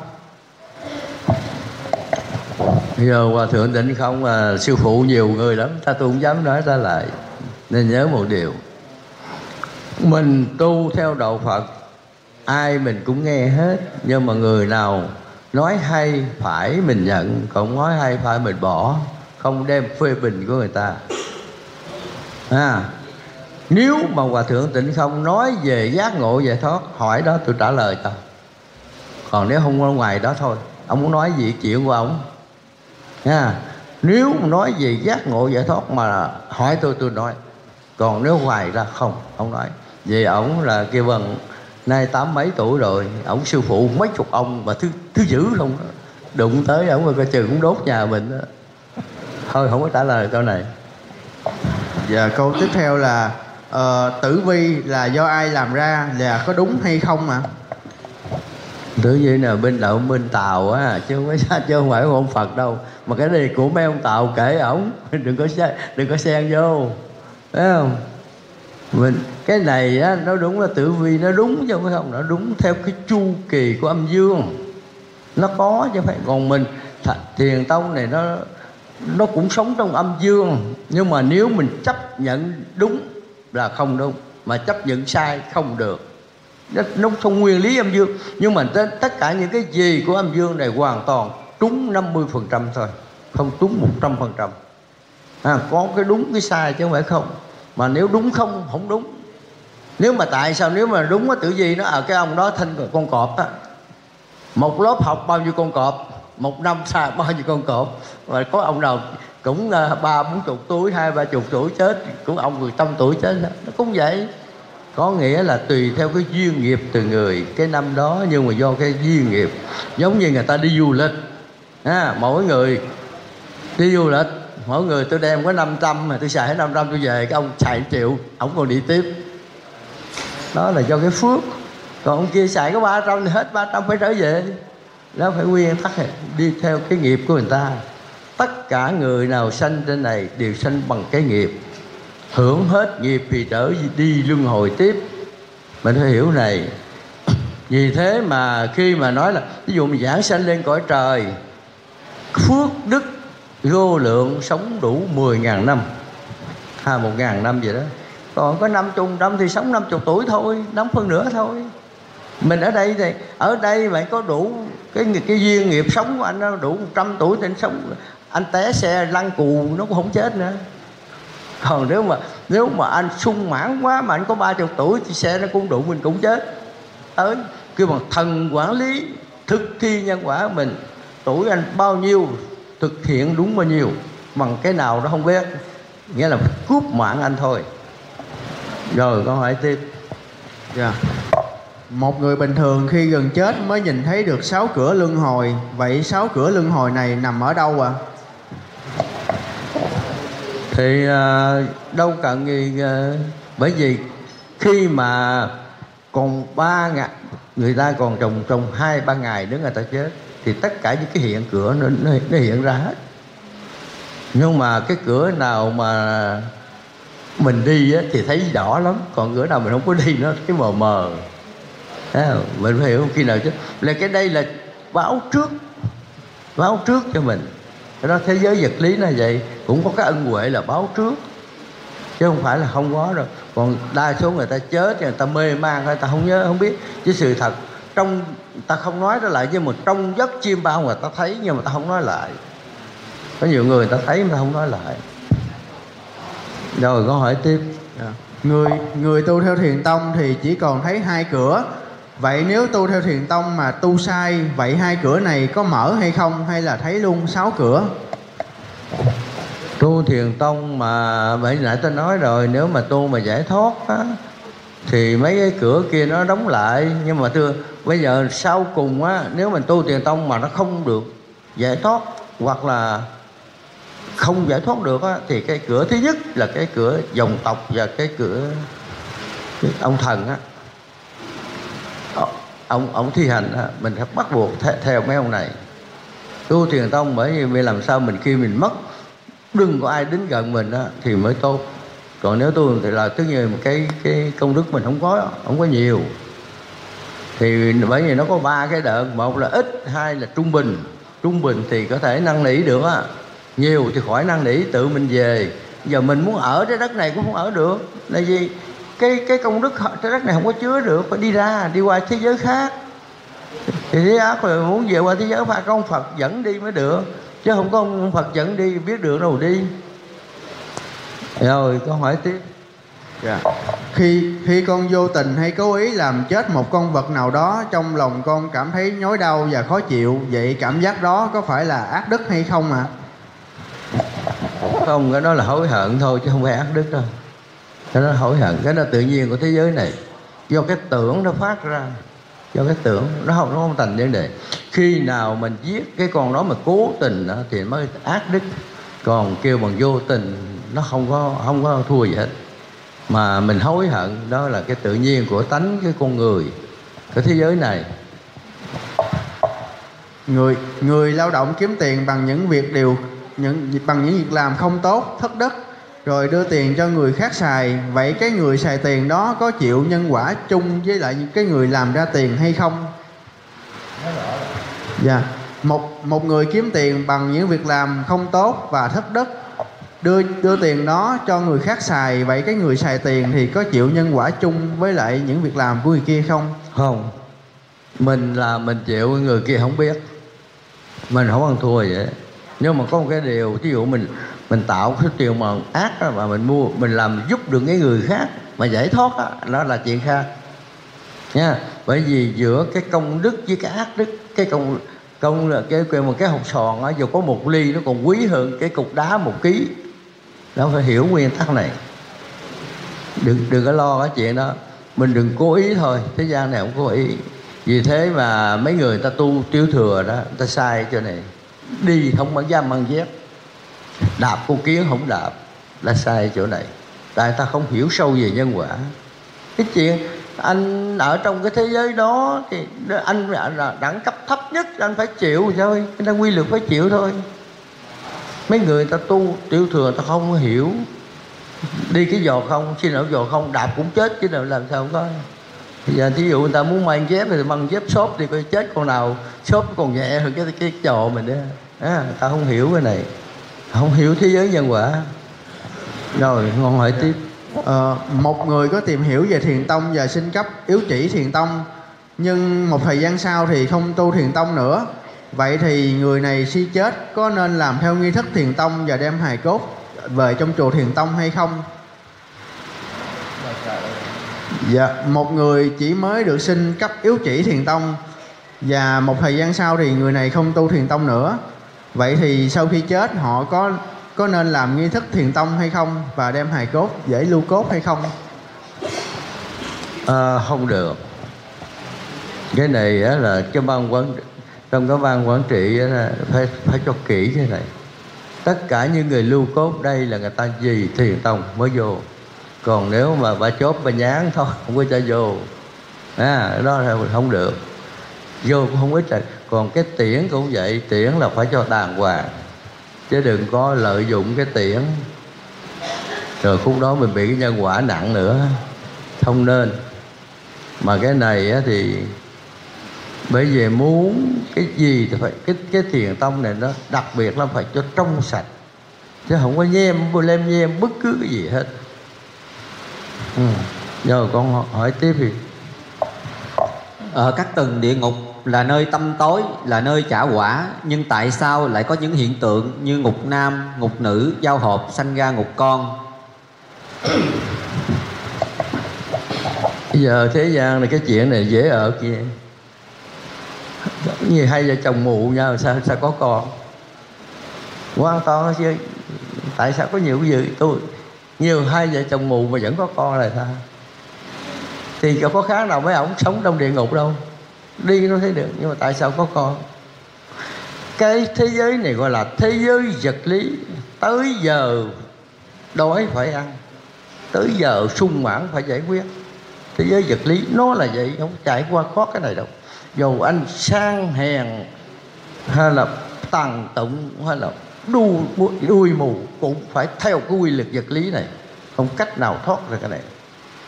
Cái này hỏi thì nó hơi nó hơi khó trả lời, nhưng mà nên đại thế giới vật lý. Bây giờ tôi nói con người thì có cái lý trí, con vật nó không có lý trí. Theo vật lý tới giờ, ăn nó phải ăn, còn mình ăn thì còn phải xem tới xem lui, lễ nghĩa gì tùm lum ha. Còn nó không xài cái này. Con vật cũng vậy. Mình thế giới vật lý này, mình phải hiểu là thế giới lực lý âm dương sinh hoạt bằng nhân quả và vật lý rồi con hỏi tiếp đi. Xin thầy giải thích câu này. Ly tứ cứu diệt bách phi nó có ý nghĩa như thế nào? Ly tứ cứu tuyệt bách phi tuyệt là bỏ. Ly là lìa tứ gấu, tứ hú ba câu. Có không? Rồi chẳng phải có chẳng phải không cũng phải chẳng có cũng phải chẳng không. Cái này là cái cái lối mà nhận và phủ nhận. À, mà trong văn học rồi nhận, phủ định và và không phủ định. Cái này là lối cái lối mà đảo văn của người ấn độ chứ không phải mình đâu. Người trung hoa bắt trước người việt nam ăn theo. Chứ nó không nghĩa lý gì hết rồi con hỏi tiếp. Vì nhân duyên gì mà mạch nguồn thiền tông được phổ biến ra tại chùa Tân Diệu thuộc đất rồng của Việt Nam? cái này không phải nó phổ biến lần này đâu, cái đất này 7 tỷ năm đó nó nó làm 7 ngàn lần. Nó là phổ biến này là 7 ngàn lần. Nó cho biết chứ không phải một lần. Giống như cái quốc gia Việt Nam tồn tại mấy bao lần thì cái thiền tông nó sẽ ra bao nhiêu lần? Duy nhất chỉ có con đường. Dầu dầu cái con đường mà nó hư hết đi, nhưng mà khôi phục lại nó phải khôi phục bằng con đường cũ. Nó phải chạy theo con đường cũ. Mười ông Phật ra đều nói hết, y chang này không có ông Phật ông không ông Phật nào nói sai cái chuyện này hết. À, thì cái đó là cái nguyên tắc do cái địa lý của cái địa cầu này và địa lý của cái núi Hy Mã Lạp Sơn này. Và địa lý của cái giải Phan Xi Băng này. Việt Nam mình nó có nhờ một cái núi Phan Xi Băng và có cái giải Hoàng Sơn. Dạ, cái thì cái thiền tông nó, nó nương theo cái này nó đi chứ không có đi đường của đường nào khác. Từ dầu một ngàn ông Phật, nó cũng nằm ở trên Hy Mã Lạp Sơn, đi con đường này.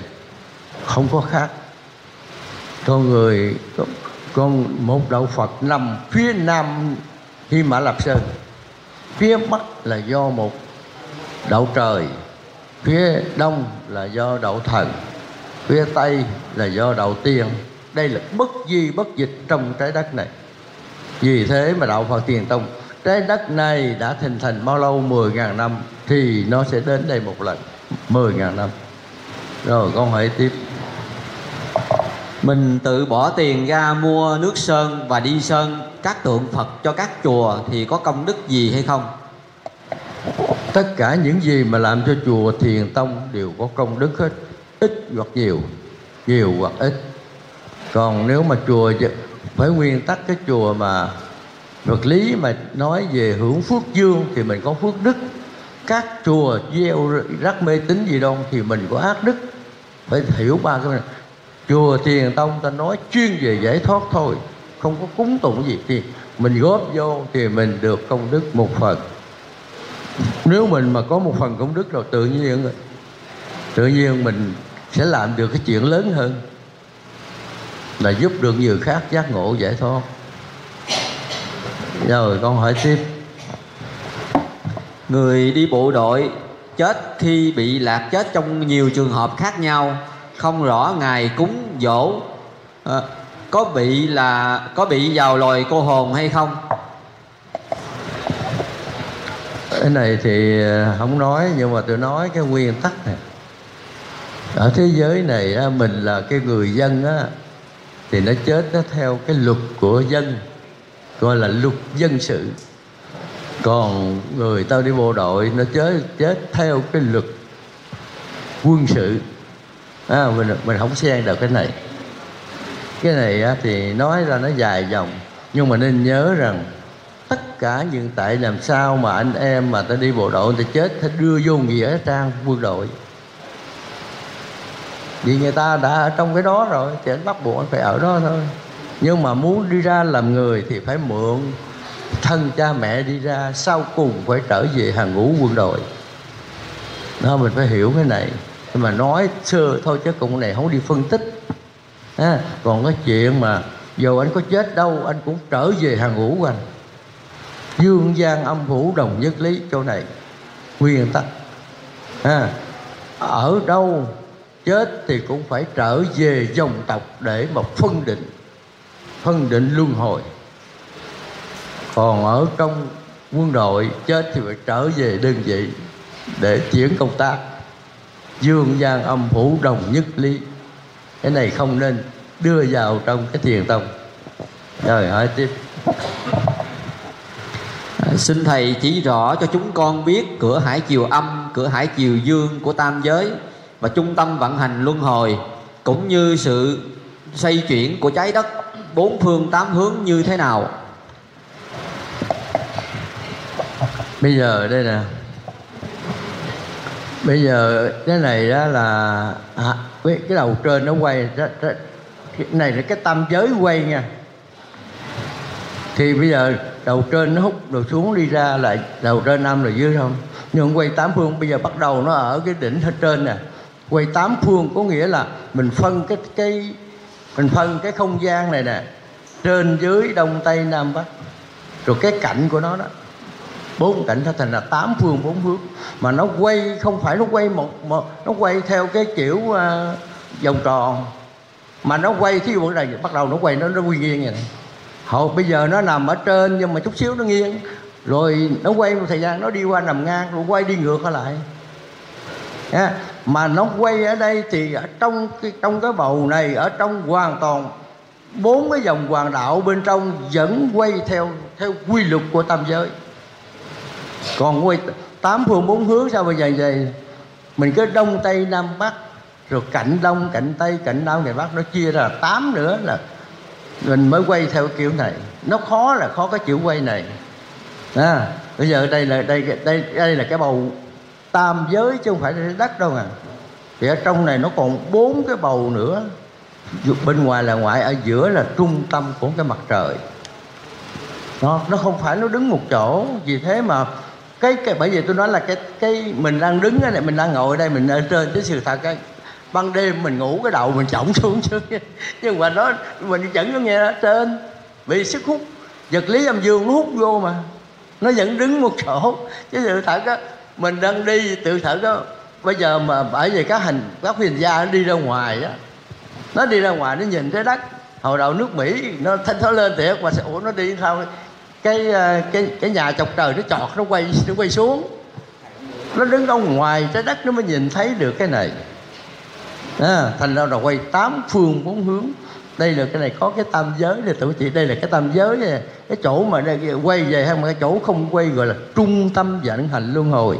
Vô phải bằng cái đường cái chỗ này nè đi ra phải con đường dưới này nè. À, vì tại sao nói âm dương là hút vô là âm đẩy ra là dương gọi là hải triều dương. Đi ra đi vào trong này á giữa cái này á, thì đến đây nó có cái tiếng động rất lớn. Hải triều dương hải triều âm này là gì giống như cái cái cái tiếng động mà giữa cái cái sóng biển nó vỗ á. Đó, thì người ta mới hiểu thôi. Thì bây giờ có cái này thì nói cho hiểu. Gọi là một cái tính đi.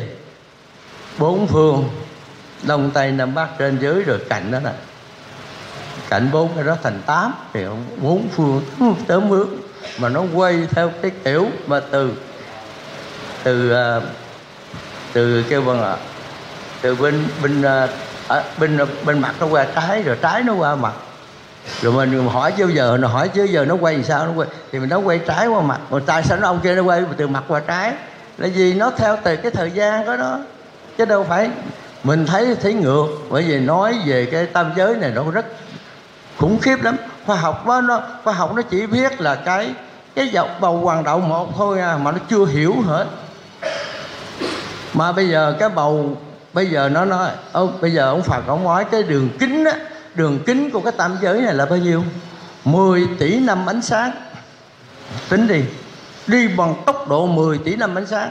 Nhưng mà 10 tỷ năm ánh sáng này, một giây á, một giây ánh sáng là đi được 300 ngàn cây số, nhân đi, nhân 10 tỷ năm một giây 300 ngàn mình nhân 10 tỷ năm. Coi cái đường kính của tam giới này bao nhiêu? Đó, mình phải hiểu nguyên tắc đó thành ra nói nói gì nó cũng, cũng khó lắm. Nhưng mà đây là mình chỉ mô phỏng nói lại thôi. Thành ra bây giờ đó bây giờ hồi nãy ai ai nói vấn đề mà tạo cái mà lập ra cái 3D nói về tam giới. Khó lắm. Bây giờ nếu mà kêu bọn tờ đưa vô Microsoft á nó làm được. Nói nó hiểu. Nếu nó hiểu thì mấy người đó có phương tiện mới làm nổi này thôi. Còn nếu người bình thường đừng có mong làm uống tiền không không không không thành công đâu. Rồi câu hỏi tiếp dạ ờ, cho câu- hỏi tiếp theo là hiện nay khoa học đã hiện đại và người ta có nhân bản vô tính vậy thì cái hiện tượng này thì phật tánh có chui vào được hay không?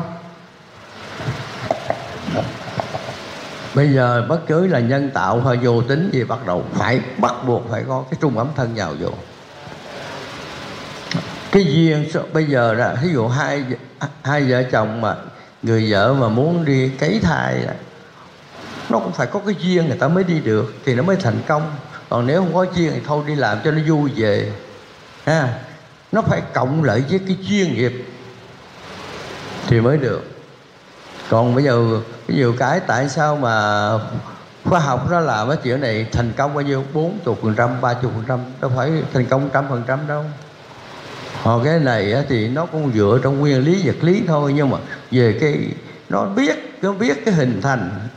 Giống như bây giờ tại làm sao á mà người nữ mà có con 30 ngày nó sẽ có mấy có 5 ngày rụng trứng thôi nha.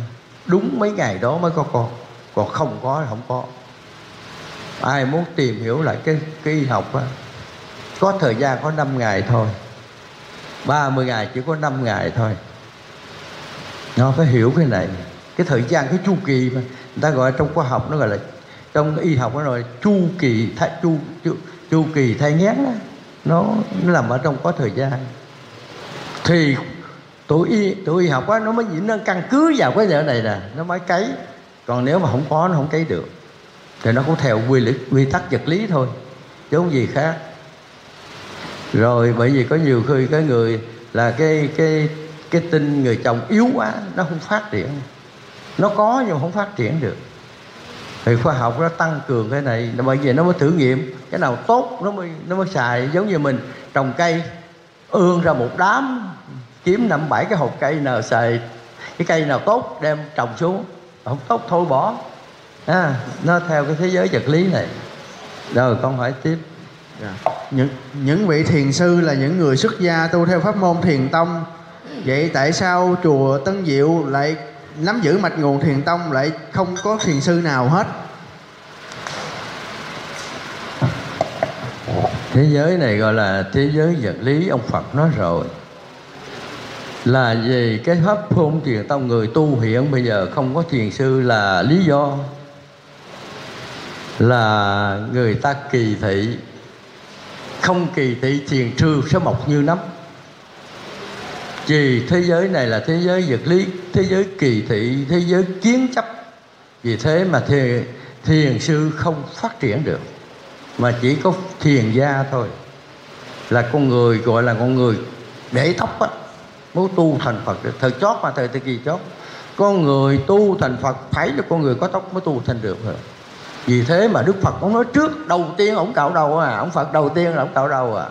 Sau cùng ông cạo ông để tóc chứ đúng đầu tiên nếu đầu tiên ông thật sức gia cạo đầu liền cắt tóc cạo đầu cạo râu hết luôn.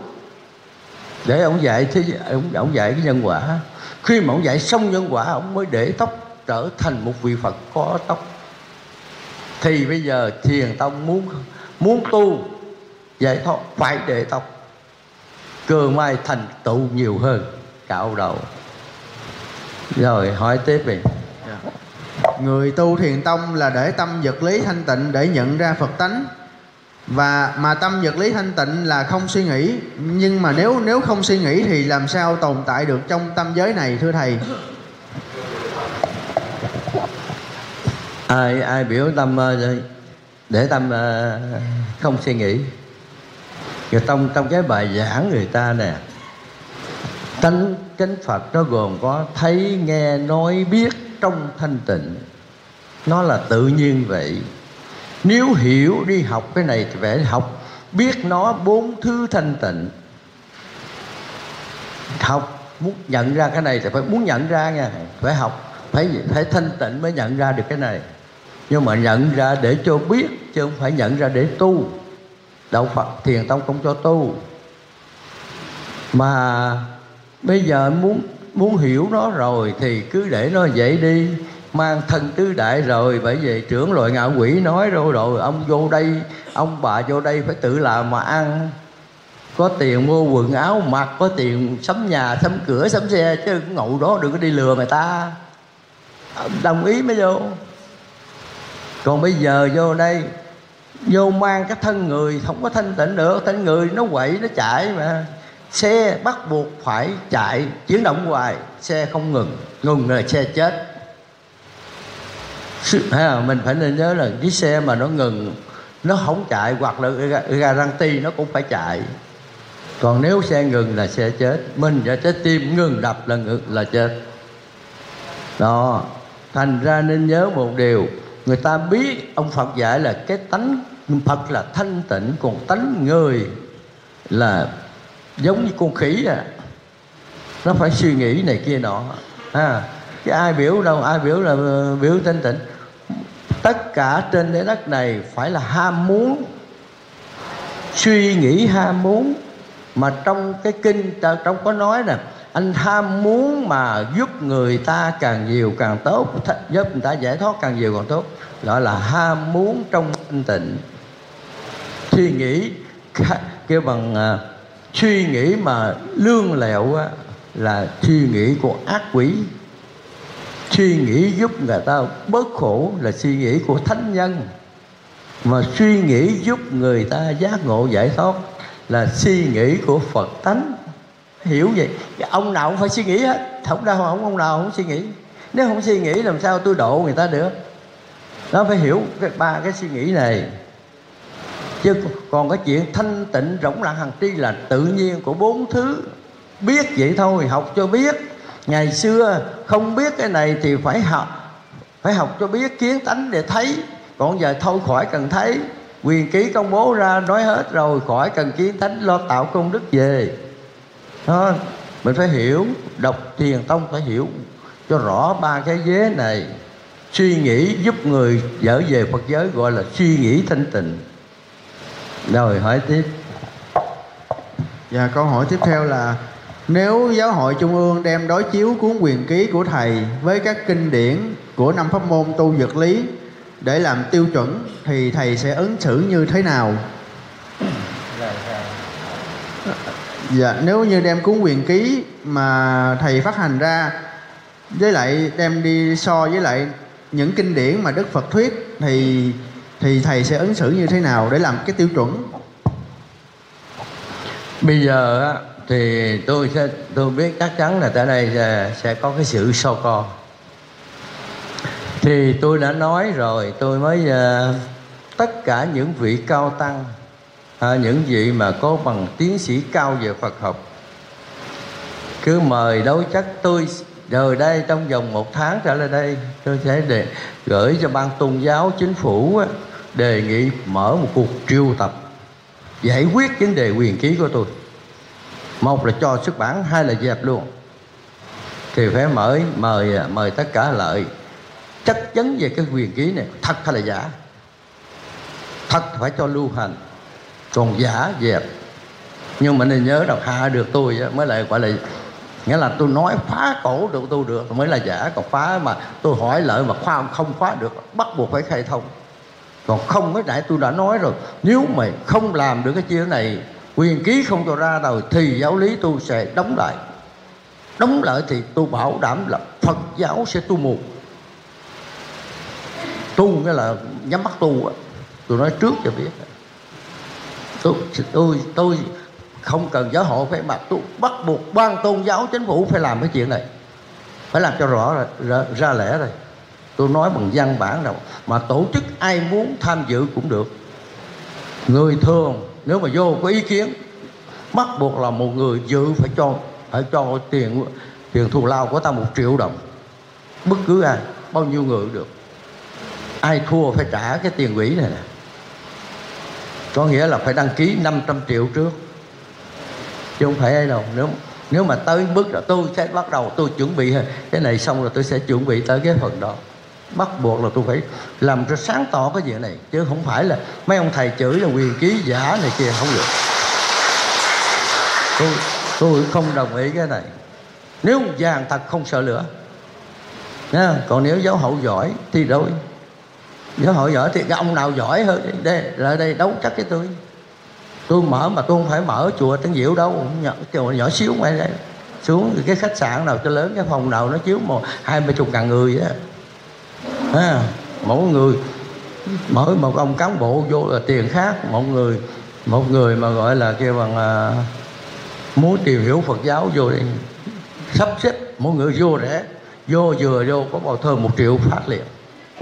Đóng quỹ trước một người 500 triệu. Lo này ai thua trả tiền. Do công tướng viên công tướng viên giữ cái số tiền này.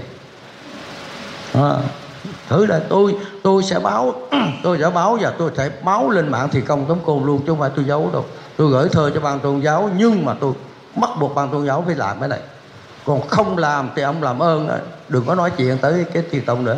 Tôi làm gì tôi làm. Đừng sai luật pháp thôi. Chứ bây giờ tôi dạ, tôi nói ra cái này á rồi cứ nói tà gia, tà ma ngoại đạo ma dương vậy. Tôi tôi muốn nói thì phải nói bằng trực diện mà tôi nói cho biết là tôi không có quá 82 tuổi đâu. Trước 82 tuổi tôi mới này, còn mình lớn quá tôi có được quên hết lại trơn làm sao tôi đâu cháu được. Thế giới vật lý tôi không nói được. Ha. Tôi trong năm nay tôi phải bắt buộc tôi gửi cho ban tôn giáo một cái văn thư này. Và đầu tôi đọc tên là tôi sẽ đọc ở trên cái cái thiền tông chấm cô rồi mời tất cả những ai muốn tham gia chuyện này. Người tham gia có góp ý, đều. Nếu tham gia mà gọi là nghe, không lấy tiền, tham gia có với tôi gửi một triệu trước. Công chứng viên 5 triệu. Luật sư mỗi ông 15 triệu rồi. Cán bộ nhà nước cũng vậy. Phải tổ chức rẻ nhất cũng phải cả tỷ bạc trốn cái này, ai thua trả. Nói hay mà phải ký quỹ trước mỗi bên bỏ 500 ai thua trả thì đó tôi sẽ nói luôn, chứ không phải không phải chứ không phải ngồi trong bóng tối cái chửi tôi hoài rồi ma giáo tà đạo, không có được chuyện đó. Tôi ủa, tôi không có học hành vậy rồi, không có tiến sĩ vậy rồi đó. Nhưng mà tôi dám chơi cái này. Mà tôi nói trong thực tế mà nói trúng, người nghe trúng thì nói trúng, sai nói sai. Chứ không phải không binh ai bỏ ai hết rồi tôi sẽ báo, có ngày này sẽ có thế đó. Cứ đợi đi ở trên mạng khi nãy xong, đọc trên cái thiền tông này xong rồi mới đưa lên mạng. Để chi? Để mấy cái ông đừng có lép nhép lép nhép với tôi nữa. Nó muốn, làm làm làm liền. Không muốn, thôi, làm thinh đi. Nếu anh giỏi thì làm thinh. Ờ, anh đã giỏi đi ra, còn không phải thôi. Để chứ, khóa miệng mấy ông nội này lại đi chứ, để lép xếp hoài. Rồi hỏi tiếp đi. Câu hỏi tiếp theo là, thầy có thể đưa cuốn quyền ký mà thầy nhận được ra để đối chứng với giáo hội hay không ạ à? đã tôi nói rồi, hồi đó là ông thạch, ông biết ông viên ra tôi biên bằng cuốn ờ, tôi biên bằng cái chữ bây giờ xong rồi tôi biết đánh máy tôi đây, không thể bỏ kia chứ, lẽ thì giờ giờ tôi viết cũng được, chứ bằng tay thì giờ đâu mà viết Nè. bây giờ bây giờ là tôi nói là tất cả những cái gì hiện giờ nếu mà nói về cái bản gốc của quyền ký á, bây giờ thì thí dụ tôi hỏi kinh thủ lăng nghiêm bản gốc đâu? Tìm đi, tìm cái bản gốc của thì kinh thủ lăng nghiêm đi. 12 bộ kinh tìm đâu? Đâu có, mà nếu mà cái máy ông sư ở Việt Nam dịch thì cũng mà dịch bằng tiếng Tàu. Rồi bây giờ tiếng Tàu nó dịch bao nhiêu? Cứ một trăm năm tôi cho đi, một trăm năm thì qua một đời sách đi mà giờ hai ngàn năm trăm sáu mươi hai năm, phải ra trăm hai hai trăm sáu mươi hai, sáu mươi hai cái cái lần dịch không? Rồi đi tìm cái đầu sao? Rồi nếu cái đầu ông Phật cũng viết bằng cái gì? Viết bằng chữ gì? Trong quyền ký tôi đã nói là sáu, tám cái ngôn ngữ đã dịch trong này, là cái cái cái cái quyền ký tái xin tái bản là tám cái ngôn ngữ tôi dịch rất rõ ràng, tôi nói rất rõ ràng. Không sót một chữ nào hết nhà biểu tôi tìm cái là sao tìm? Không nói trên lỗ mà xin hồi đời. Đừng có nói hồi giờ hồi đời vua gia long nhà tìm có được cái cái cái sách nào vua gia long viết không? Đâu có đâu. Và tôi còn lộn được cái cuốn Trần Nhân Tông cách 700 năm còn viết ra được. Mà do một người khác đưa lại cho tôi, chứ tôi cũng không biết.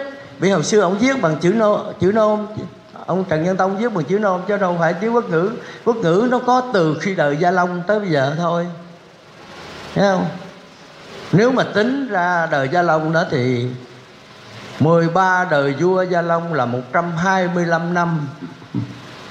Trị gì 13 đời vua 125 năm. Mà lúc mà ông vua Gia Long trở về đây là ông 59 tuổi, Rồi từ Pháp về Việt Nam là ông 59 tuổi à, Minh Mạng lúc đó là 22 tuổi. Sau đó mới giao lại vua Minh Mạng Thì làm sao biết được? Biểu tìm băng gốc thì thôi Tôi tôi bỏ tay. Nhưng mà bây giờ tranh luận trên bằng thực tế. Cái nào đúng nào sai trên thực tế tao có chuyện gì dứt qua. Bây giờ nếu mà nói nếu mà nói gì chưng cho hỏi chứ ông thích ca. Nói ông viên đang dạy ông có bằng chứng không? Có bằng chứng ông viên đang dạy ông ông cũng nói miệng là ta ngộ trên trời. Rồi hỏi rồi giờ tôi nói bà kia đưa tôi thì tôi cũng nói vậy thôi. Bây giờ nói đúng là tất cả gì phải đáp trong hiện tại thôi. Chứ không có nói chuyện mơ hồ. Phải tin phải thôi. Thế giới vật đấy thế giới này sống bằng hiện tại và tương lai quá khứ dẹp. Rồi hỏi tế vi dạ. tánh, tánh thấy của phật tánh trước khi vào tam giới để nhập vào bào thai của người mẹ và tánh thấy của phật nhãn được mở ra khi chung ấm thân, vượt qua hải chiều dương thì có giống và khác nhau hay không ạ? À? bây giờ cái này đọc mà chưa có hiểu rõ là tánh phật á, vô, theo quy luật nhân quả, vô thai mẹ là ngủ trong đó là quên rồi. Tử cung là cái nơi lời quên hoặc là làm sanh ra con đó là quên. Khi mà vô xong rồi thì cái cái cái tính người nó quay. Tính người giống là gì? Giống như dynamo điện nó quay đúng đúng lực nó phát ra điện. Còn tánh người nó muốn quay đạt chuẩn, ta phải quay lực rồi thì nó mới phát ra được 16 tánh người. Rồi đi ra ngoài đâu có nhớ gì đâu, rồi cũng đi làm lộn là kia nó tạo nghiệp nghiệp rồi nó phủ lên một lớp nữa. Phải ba thứ không? Làm sao nhớ? Mà muốn Phật nhãn mở về phải đi vào trung tâm vận hành luân hồi. Để chi? Điện từ âm dương không còn cúng hút nữa. Điện âm về âm, điện dương về dương thì Phật nhãn mới mở ra được. Mật nhãn mới ôm một cái khối công đức mới về Phật giới. Phải vào trung tâm vận hồng Luân hồi, điện từ âm dương tự tan rã ra. Giống như mình ở đây, Có cái cục vàng mà bị dính rồi Phải ngâm làm sao cho nó bay cái cái chất bám của cái cục vàng ra Thì cục vàng nó mới nó, nó phơi sát được. Thì Phật nhãn cũng vậy vô đó hiện tượng âm dương nó trở về bản chất của nó. Thì Phật nhãn mở ra. Vô đó mở ra rồi thì mới Phật nhãn mới mở ra thì một vị Phật mới bắt đầu thoát lên câu nghiệp chướng bổn lây không? Có nghĩa là từ xưa giờ mình vô đây mình quên hết rồi bây giờ mình mới nhớ lại. Ờ nó ổ nó nó chỉ dính vô mình chứ đâu phải nó của mình. Tại hồi đó mình không chịu tắm. Không chịu tắm cho nó sạch. Cứ cứ cứ bôi vô hoài. Rồi giờ vô đây tự nhiên nó tan rã ra. Ủa này học nó đâu có phải chuyện của mình đâu. Thì gọi là một tánh phật mở ra là nghiệp chướng bổn lây không? Là nói đến cái chỗ này. À, câu hỏi TV dạ. Trong trong quyển số 9 có viết, thân trời cũng như cây cỏ hoa lá ở cõi trời, cấu tạo bằng điện từ âm dương không màu sắc, nhưng rất thanh tịnh. Vậy thân trời này là gì? Xin thầy về giải thích dùm bây giờ mình ở trên thế giới này, mình thấy giờ thí dụ mình th- th- hình thân thân tứ đại, mặc áo đỏ thấy đỏ, mặc áo trắng thấy trắng. À. bây giờ cái con, cái cũng con người ở đây mà cấu tạo bằng điện từ âm dương, thấy không? Mắt thịt mình sao thấy? Mà nói có không? Bây giờ này nó đây, nó dãy đầy rồi ai thấy? Muốn thấy không? Rồi kiếm cái tivi bỏ vô đi, mở ra đi. Ca sĩ thiếu rồi đâu. Nó lá mình đủ đúng nó nằm đây chứ đâu. Nhưng mà tại mình không thấy, thì cấu tạo điện nó cũng nằm vậy. Sắc cái dùng cái cõi trời. Bởi vì khi mà gọi ngạ quỷ nó, bây giờ muốn vô dòng tộc phải có cái điều kiện thế này muốn vô chứ không phải vô vô đâu. Vô chịu không? Mang thân thứ đại. Thứ tại đói phải ăn à? Không ăn đó la. Đói lạnh à, thì phải làm cho nó ấm không ấm nó la. Thấy không? Nhu cầu nó muốn cái gì phải làm nó thấy. Còn nếu không muốn vô là mang thứ tại làm người thì làm ơn, làm cô hồn á, muốn ra dừng giật cái ai làm gì làm cũng ai la đó. Nó đối với nó cũng là điện, còn bây trung ấm thân nó là điện chứ quý vị nhưng mà tại nó mang cái cái thân tứ đại, nó phải phục vụ thân tứ đại này. Chết là chết cái thân tứ đại, mà tại vì cái thân tứ đại mới tạo công đức được, rồi thân tứ đại mới tạo phước đức được. Nhưng mà nó còn kẹt thân tứ đại nó tạo ác đức luôn á mày muốn nào? Thân nó đại giống như con dao nó chặt cái gì cũng được hết, mà coi chừng nó đâm mà lũng ruột luôn. Đó, phải vậy, phải hiểu nguyên tắc này. Nghe không? chứ đừng có tưởng đâu. Các cõi khác thì nó cấu tạo bằng điện từ âm dương. Thì mình con mắt phàm sao thấy? Nhưng mà bây giờ khoa học, con mắt khoa học nó nhìn thấy luôn á. Bằng chứng là nó giúp cho mình thấy đó nó, mình đang nói thì chứ bây giờ sự thật. Tiếng nói mình nghe đi chứ sự thật bằng điện tử rằng nó có cái tần số rõ ràng. Nha, mình ở đây không biết chứ mình nói tần số mình nghe chứ mà mình nói mà phớt bằng cái tiền được cái tần số nó thấy nó có cái tần số đi của nó. Thấy không? thành ra đừng có thắc mắc cái chuyện mình giờ rồi giải quyết vấn đề tạo công đức về rồi rồi Phật nhãn mở ra muốn thấy gì thấy. Cõi nào cũng thấy hết càng khôn vũ trụ còn thấy được không chi đồ rồi có cái trái đất này ăn nhầm gì rồi hỏi tiếp. À, xin thầy à, giúp con giải thích bốn câu. Chúng sanh vô biên thệ nguyện độ phiền não vô tận thệ nguyện đoạn. Pháp môn vô lượng thệ nguyện học phật đạo vô thượng thệ nguyện thành đây là mấy cái ông vật lý ông ngồi ông thể cho vui thôi chứ không có lạ mẹ vậy đó. Mấy ông vật lý tu mấy ông vật lý. Chúng sanh vô biên thệ nguyện độ. Trời ơi mẹ gia đình có năm người độ không nổi mà chúng sanh vô biên. Mấy ông vật lý nó chơi cho nó vui. Trời ông phật ông phật còn không độ nổi nên là bại thệ, thệ nguyện độ độ hết chúng sanh. Thì giống ông địa tạng ông nó chơi cho vui thôi nha địa ngục vậy không bất thể thành phật. Làm sao địa ngục thành không được? Cũng nói cho vui cho chơi thôi. Mấy ông vật lý nói để chi dụ người ta tới ta tu. Chứ làm gì cái gì? Thiền não vô tận thệ nguyện đoạn. Thiền não là cái tánh con người. Giống như con người trái tim đó, nó đập tới tim đập, tôi thề nguyện, cắt cho nó đứt cho nó hết đập, dám không? Mấy ông tu vật lý bài không hiểu rồi, bài đặt cắt cái chùa ra to, tu, không biết cái giáo lý, nói tầm bậy tầm bạ. Cái thế giới nào có đoạn không, có phiền não phiền não là của con người, làm sao đoạn nó được? Nhớ con, còn cái cái thế giới, thế vật lý, không có không có đoạn được cái gì đâu này đó. Sợ nó chạy trốn, chui ra nha bởi vì tại tại tại tôi nói là tại vì đạo Phật không có cái giáo lý rồi mới đưa ra những cái câu này. Người này thì xin lỗi. Mấy ông ngộ thiền cũng có cười.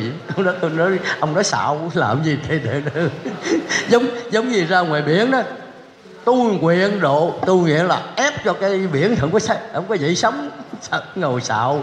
Mẹ con con người có 10 kg có 50 kg về đặt đè cái biển cho được. Thế thôi bây giờ là nhắn cái này nè làm ơn cho giáo lý ra rồi viết khỏi đoạn khỏi gì nữa.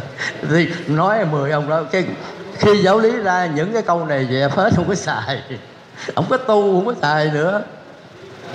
Rồi hỏi tiếp đi. À, giáo lý đạo Phật Thiền Tông muốn được phép xuất bản thì mình à, đưa hai nội dung sau vào diễn đàn. Thứ nhất lợi ích của thiền tông tầm quan trọng của giáo lý đạo phật đối với nhân loại. Hai tư tưởng dựng nước và giữ nước theo đạo phật thiền tông của các đời vua nhà lãnh đạo việt nam qua các thời kỳ. Đó là một cái góp ý của một phật tử. Bây giờ đó khỏi góp ý ông, à, nguyễn quốc trang gáp rồi. Diễn đàn sáu ông nguyễn quốc trang nói rồi. Nó giáo giáo hội ơi làm ơn thu nhận đi nó cũng đề nghị rồi đó, nhưng mà tao nghe không? Nó nó rõ ràng, có người đề nghị rồi. Người đầu tiên đề nghị giáo hội tiếp nhận cái này, để chi, để cho cái đầu óc của người Việt Nam nó khôn lại chút, nó đừng có mê tín nữa. Nhưng mà không nghe thôi, chứ giờ tôi nói gì? Tôi chỉ là người đứng giữ cái chùa này xong rồi, ai thắc mắc tôi trả lời thôi. Còn nếu mà muốn ấy dạy tôi nói, mấy ông không mở ra, tôi cũng yêu cầu mấy ông mở dứt khoát cái thiền tông này có có tồn tại là không? Không tồn tại tôi đóng cửa luôn. À, rồi mấy ông muốn cúng gì là lấy vô đi cúng. Muốn là muốn cầu siêu gì vô đây này muốn cúng sao cúng ờ, cúng gì đó mình cúng. Đó tự, bây giờ anh em mà cứ coi coi trên cái mạng mà thấy giáo hội trung ương nó cầm cái cái sổ đỏ chùa tiền tông đang diệu không? Nó thấy 210 thước vuông nó không dám lấy. Đó lấy làm gì? Ngoài dách của tôi đó đường đi của tôi đó. Cái 210 này trong này nguyên cái nhà nguyên cái nhà là 210 thu. muốn nấu cơm ở nấu trong này nè. Muốn làm nhà vệ sinh làm ở trong này nè. Đó rồi tôi giao cho. Còn nếu mà muốn tôi giao cử một người nào biết thiền tông cho tôi giao cái chùa liền. Tôi đâu có tôi đâu có tham đâu có giận đâu. Đó, còn nếu mà lấy theo luật pháp trả tiền tôi xây dựng chắc lẽ mấy trả trả dễ lắm không có bao nhiêu tiền xây nhà cấp 4 bao nhiêu tiền đâu. Nhưng mà có anh điều giao 210 thước vuông. Rồi tượng Phật nó đúng là không có nhiều tiền, nhưng mà với điều kiện là muốn lấy vô thì đó nhiêu đây giao vô tôi giao. Thì tôi cũng sẽ sẵn sàng là tôi tuyên bố là tôi không dạy nữa, tôi không trả lời nữa. Giờ thôi, đâu có gì. Còn muốn muốn ấy thì nữa, muốn hiểu cái đạo Phật Thiền Tông này thì giáo lý ra đời đi là tự biết. Ta thuyên tôi giải thích từ ly, từ tí luôn. Không có sai sót một chút nào hết. Rồi, hỏi tiếp đi. Con thường suy nghĩ mênh mang những câu pháp của đức phật hay những câu nói của các vị tổ. Như vậy, nó thuộc về suy nghĩ của thanh tịnh hay nó thuộc về suy nghĩ theo chiều luân hồi? Suy nghĩ mà tìm cái chân lý của cái câu nói của các tổ, đó là suy nghĩ thanh tịnh đó còn suy nghĩ mà ngơ ngờ giật thì còn đi luân hồi, có vậy thôi. Lời hỏi tiếp. Con là một Phật tử, Trước đây con tu theo pháp môn mật chú. Gần đây con ra đường vào 7-8 giờ tối Khi về nhà mà con không, Coi khi về gần đến nhà mà không biết lối về nhà. Thường đi lòng vòng vài giờ, Con biết là có hiện chuyện lạ xảy ra với con Nhưng con không làm chủ được. Vậy xin Thầy cho làm sao cho con có thể chấm dứt được uh, hiện tượng này?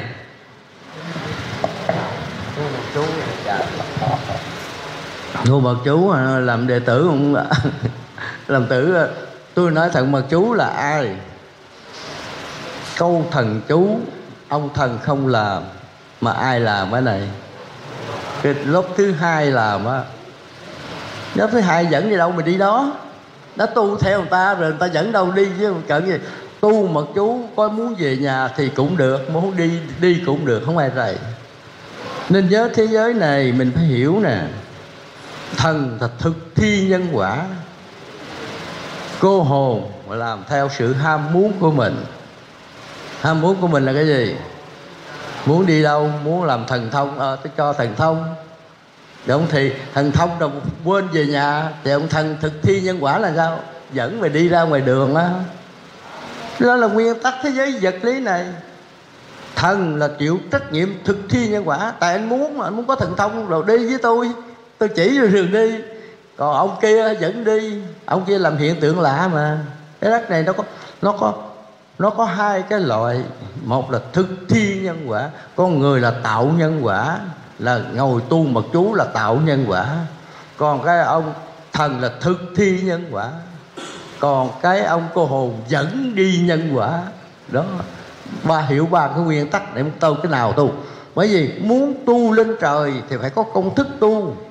Muốn tu làm thần có công thức tu, muốn tu làm người giàu sang có công thức tu, muốn tu giải thoát có công thức tu, chứ không phải là nó mơ hồ đó mình phải hiểu nguyên tắc này. Còn mình muốn dừng lại thì mình bắt chước tu thiền tông thì buông buông hai cái kia đi thì tự nhiên nó trở về bản chất cũ. Cái giống như là trong cái cái cái hồ nước mà nó muốn anh muốn sống anh muốn sống thì anh phải làm cho nó động nó mới sống. Bây giờ anh đừng muốn làm anh đừng làm nữa làm sao nó có sống? À, nó phải buông buông suy nghĩ buông thực hành là trở về bản gốc. Rồi hỏi tiếp. Và nay con đọc sách Thiền Tông Con hiểu được lời Đức Phật dạy. Nhưng khi con muốn được ờ, uh, Truyền thiền Làm bài giải trình Thì con làm không nổi Vì nó nhức đầu không thể diễn tả được. Thì uh, xin Thầy giúp con Làm sao để con vượt qua được.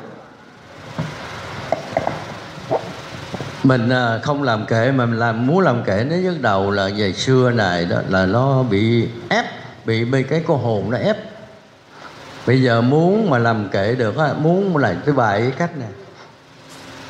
Ngồi lấy cái viết cầm ở đây, mở 30 36 vị thổ truyền tông cho nghe lớn đi. Cái cái theo ổng đi, ha. Cái bắt đầu từ nó chảy thì viết theo, rồi từ từ mình mới đúc kết lại. Khi mở cái này ra, ông cô hồn không có lại gần, thì ông không phá mình. Còn nếu mà mình ngồi mình suy nghĩ trong thanh tịnh mà viết cái này, ổng nhào vô rồi mình thua. Muốn trợ giúp 36 ông tổ có được quyền trợ giúp mình cái này cứ mở ra. Ở trong cái phòng mở lớn ra, xin lỗi, biểu ổng lợi, vô chơi ổng không dám nữa. Đó rồi mình đâu đâu nghe cái gì rồi mình ngồi đó, mình bắt đầu khởi niệm từng câu, từng lời ông đó, thì mình đi theo cái đó. Tự nhiên cái cái cái cái bài thiền nó, từ tánh Phật nó phải xuất phát ra liền. Còn nếu đi ra ngoài, coi chừng tánh của hồn nhào vô à, mình phải hiểu nguyên tắc. Không gian nào tạo được cái này. Còn người ta có công đức nhiều ta ngồi đâu nó cũng chảy hết á. Còn mình cái này thiếu công đức. Thành ra mình phải nhờ ông mấy ông tổ trợ giúp rồi trợ giúp cái này. Vô trong cái phòng mở mới lớn đi. Bây giờ tạo cho mình điều kiện là tại sao? Tạo điều kiện là 12 quyển sách ta nạp vô trong một cái máy. Muốn nghe cái gì thì nghe hồi xưa đó. Muốn nghe này rất thì khó muốn ờ, xin lỗi muốn đọc cái, cái quyển số 1 giờ muốn đọc thì có thì giờ mới đọc. Bây giờ không cần bỏ vô túi đó, rồi đi làm việc nghe cũng được. Nó tạo điều kiện cho mình vậy hết mức rồi. À, thì còn cái chịu tạo đó mình tìm cách mình tạo. Nếu mình bị cái trường hợp này phải nhờ mấy ông tổ khống chế mấy ông cô hồ này. Rồi thì cái tánh Phật nó mới lưu sức được. Rồi câu hỏi tiếp đi. Câu câu tiếp theo là nếu kiếp này không về Phật giới được thì phải đợi ít nhất là 8 Đức Phật ra đời. Tại sao lại là 8 Đức Phật ra đời?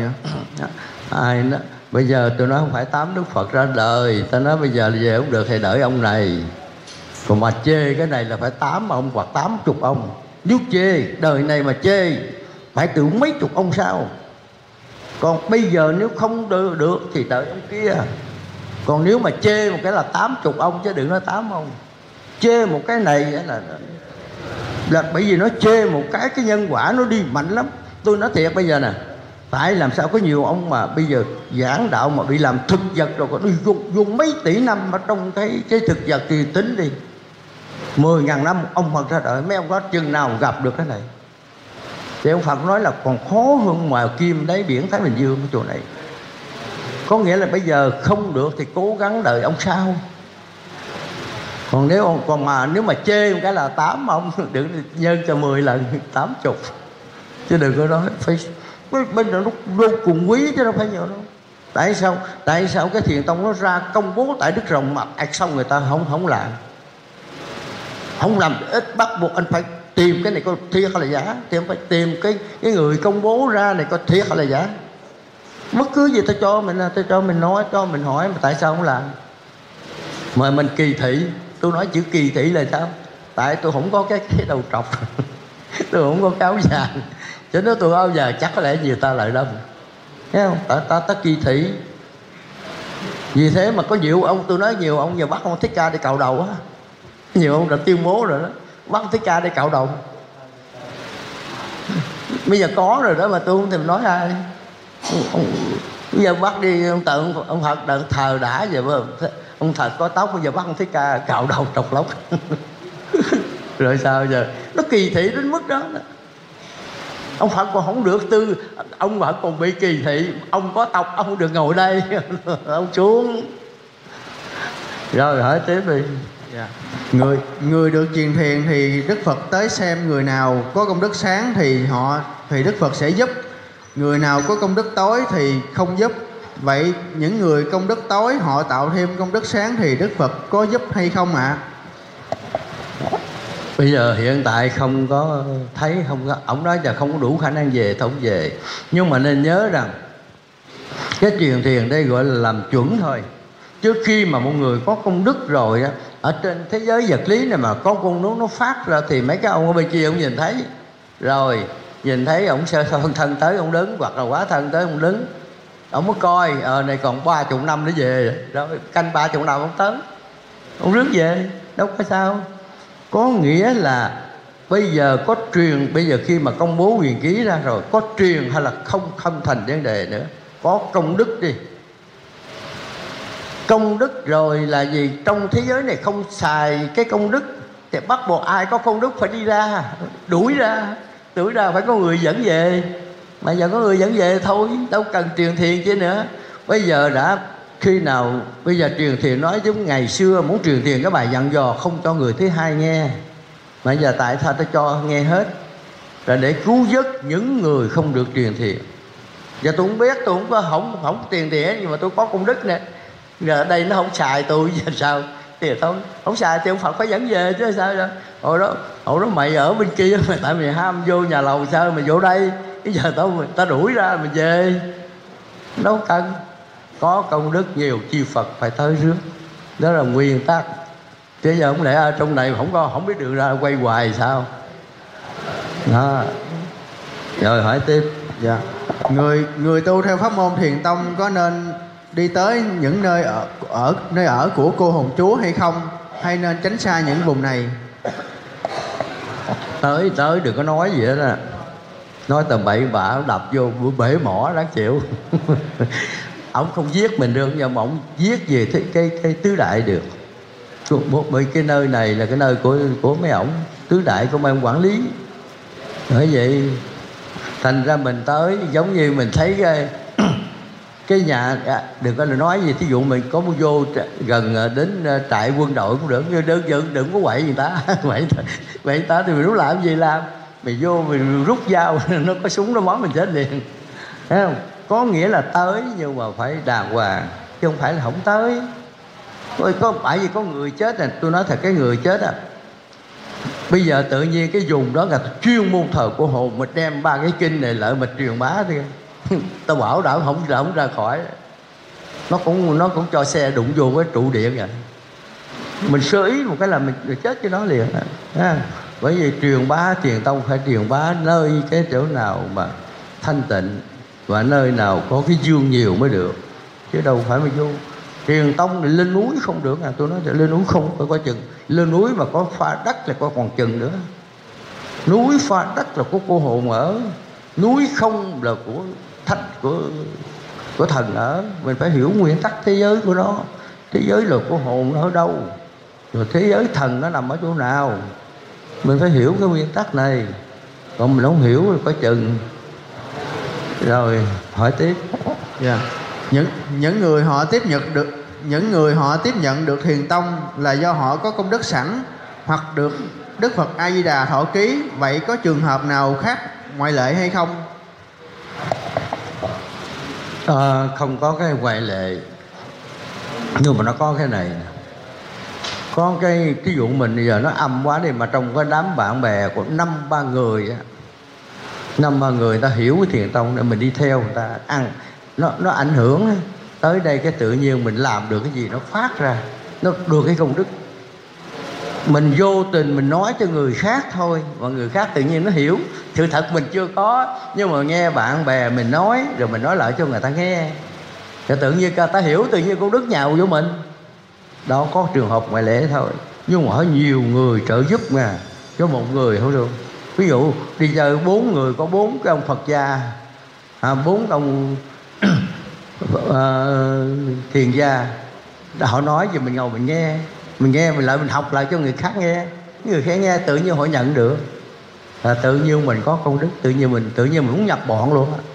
À, còn nếu ngoài ra không có cái này nếu không có cái đó thôi, không ngoài vậy. một là có công đức trước, hai là a di đà thọ ký.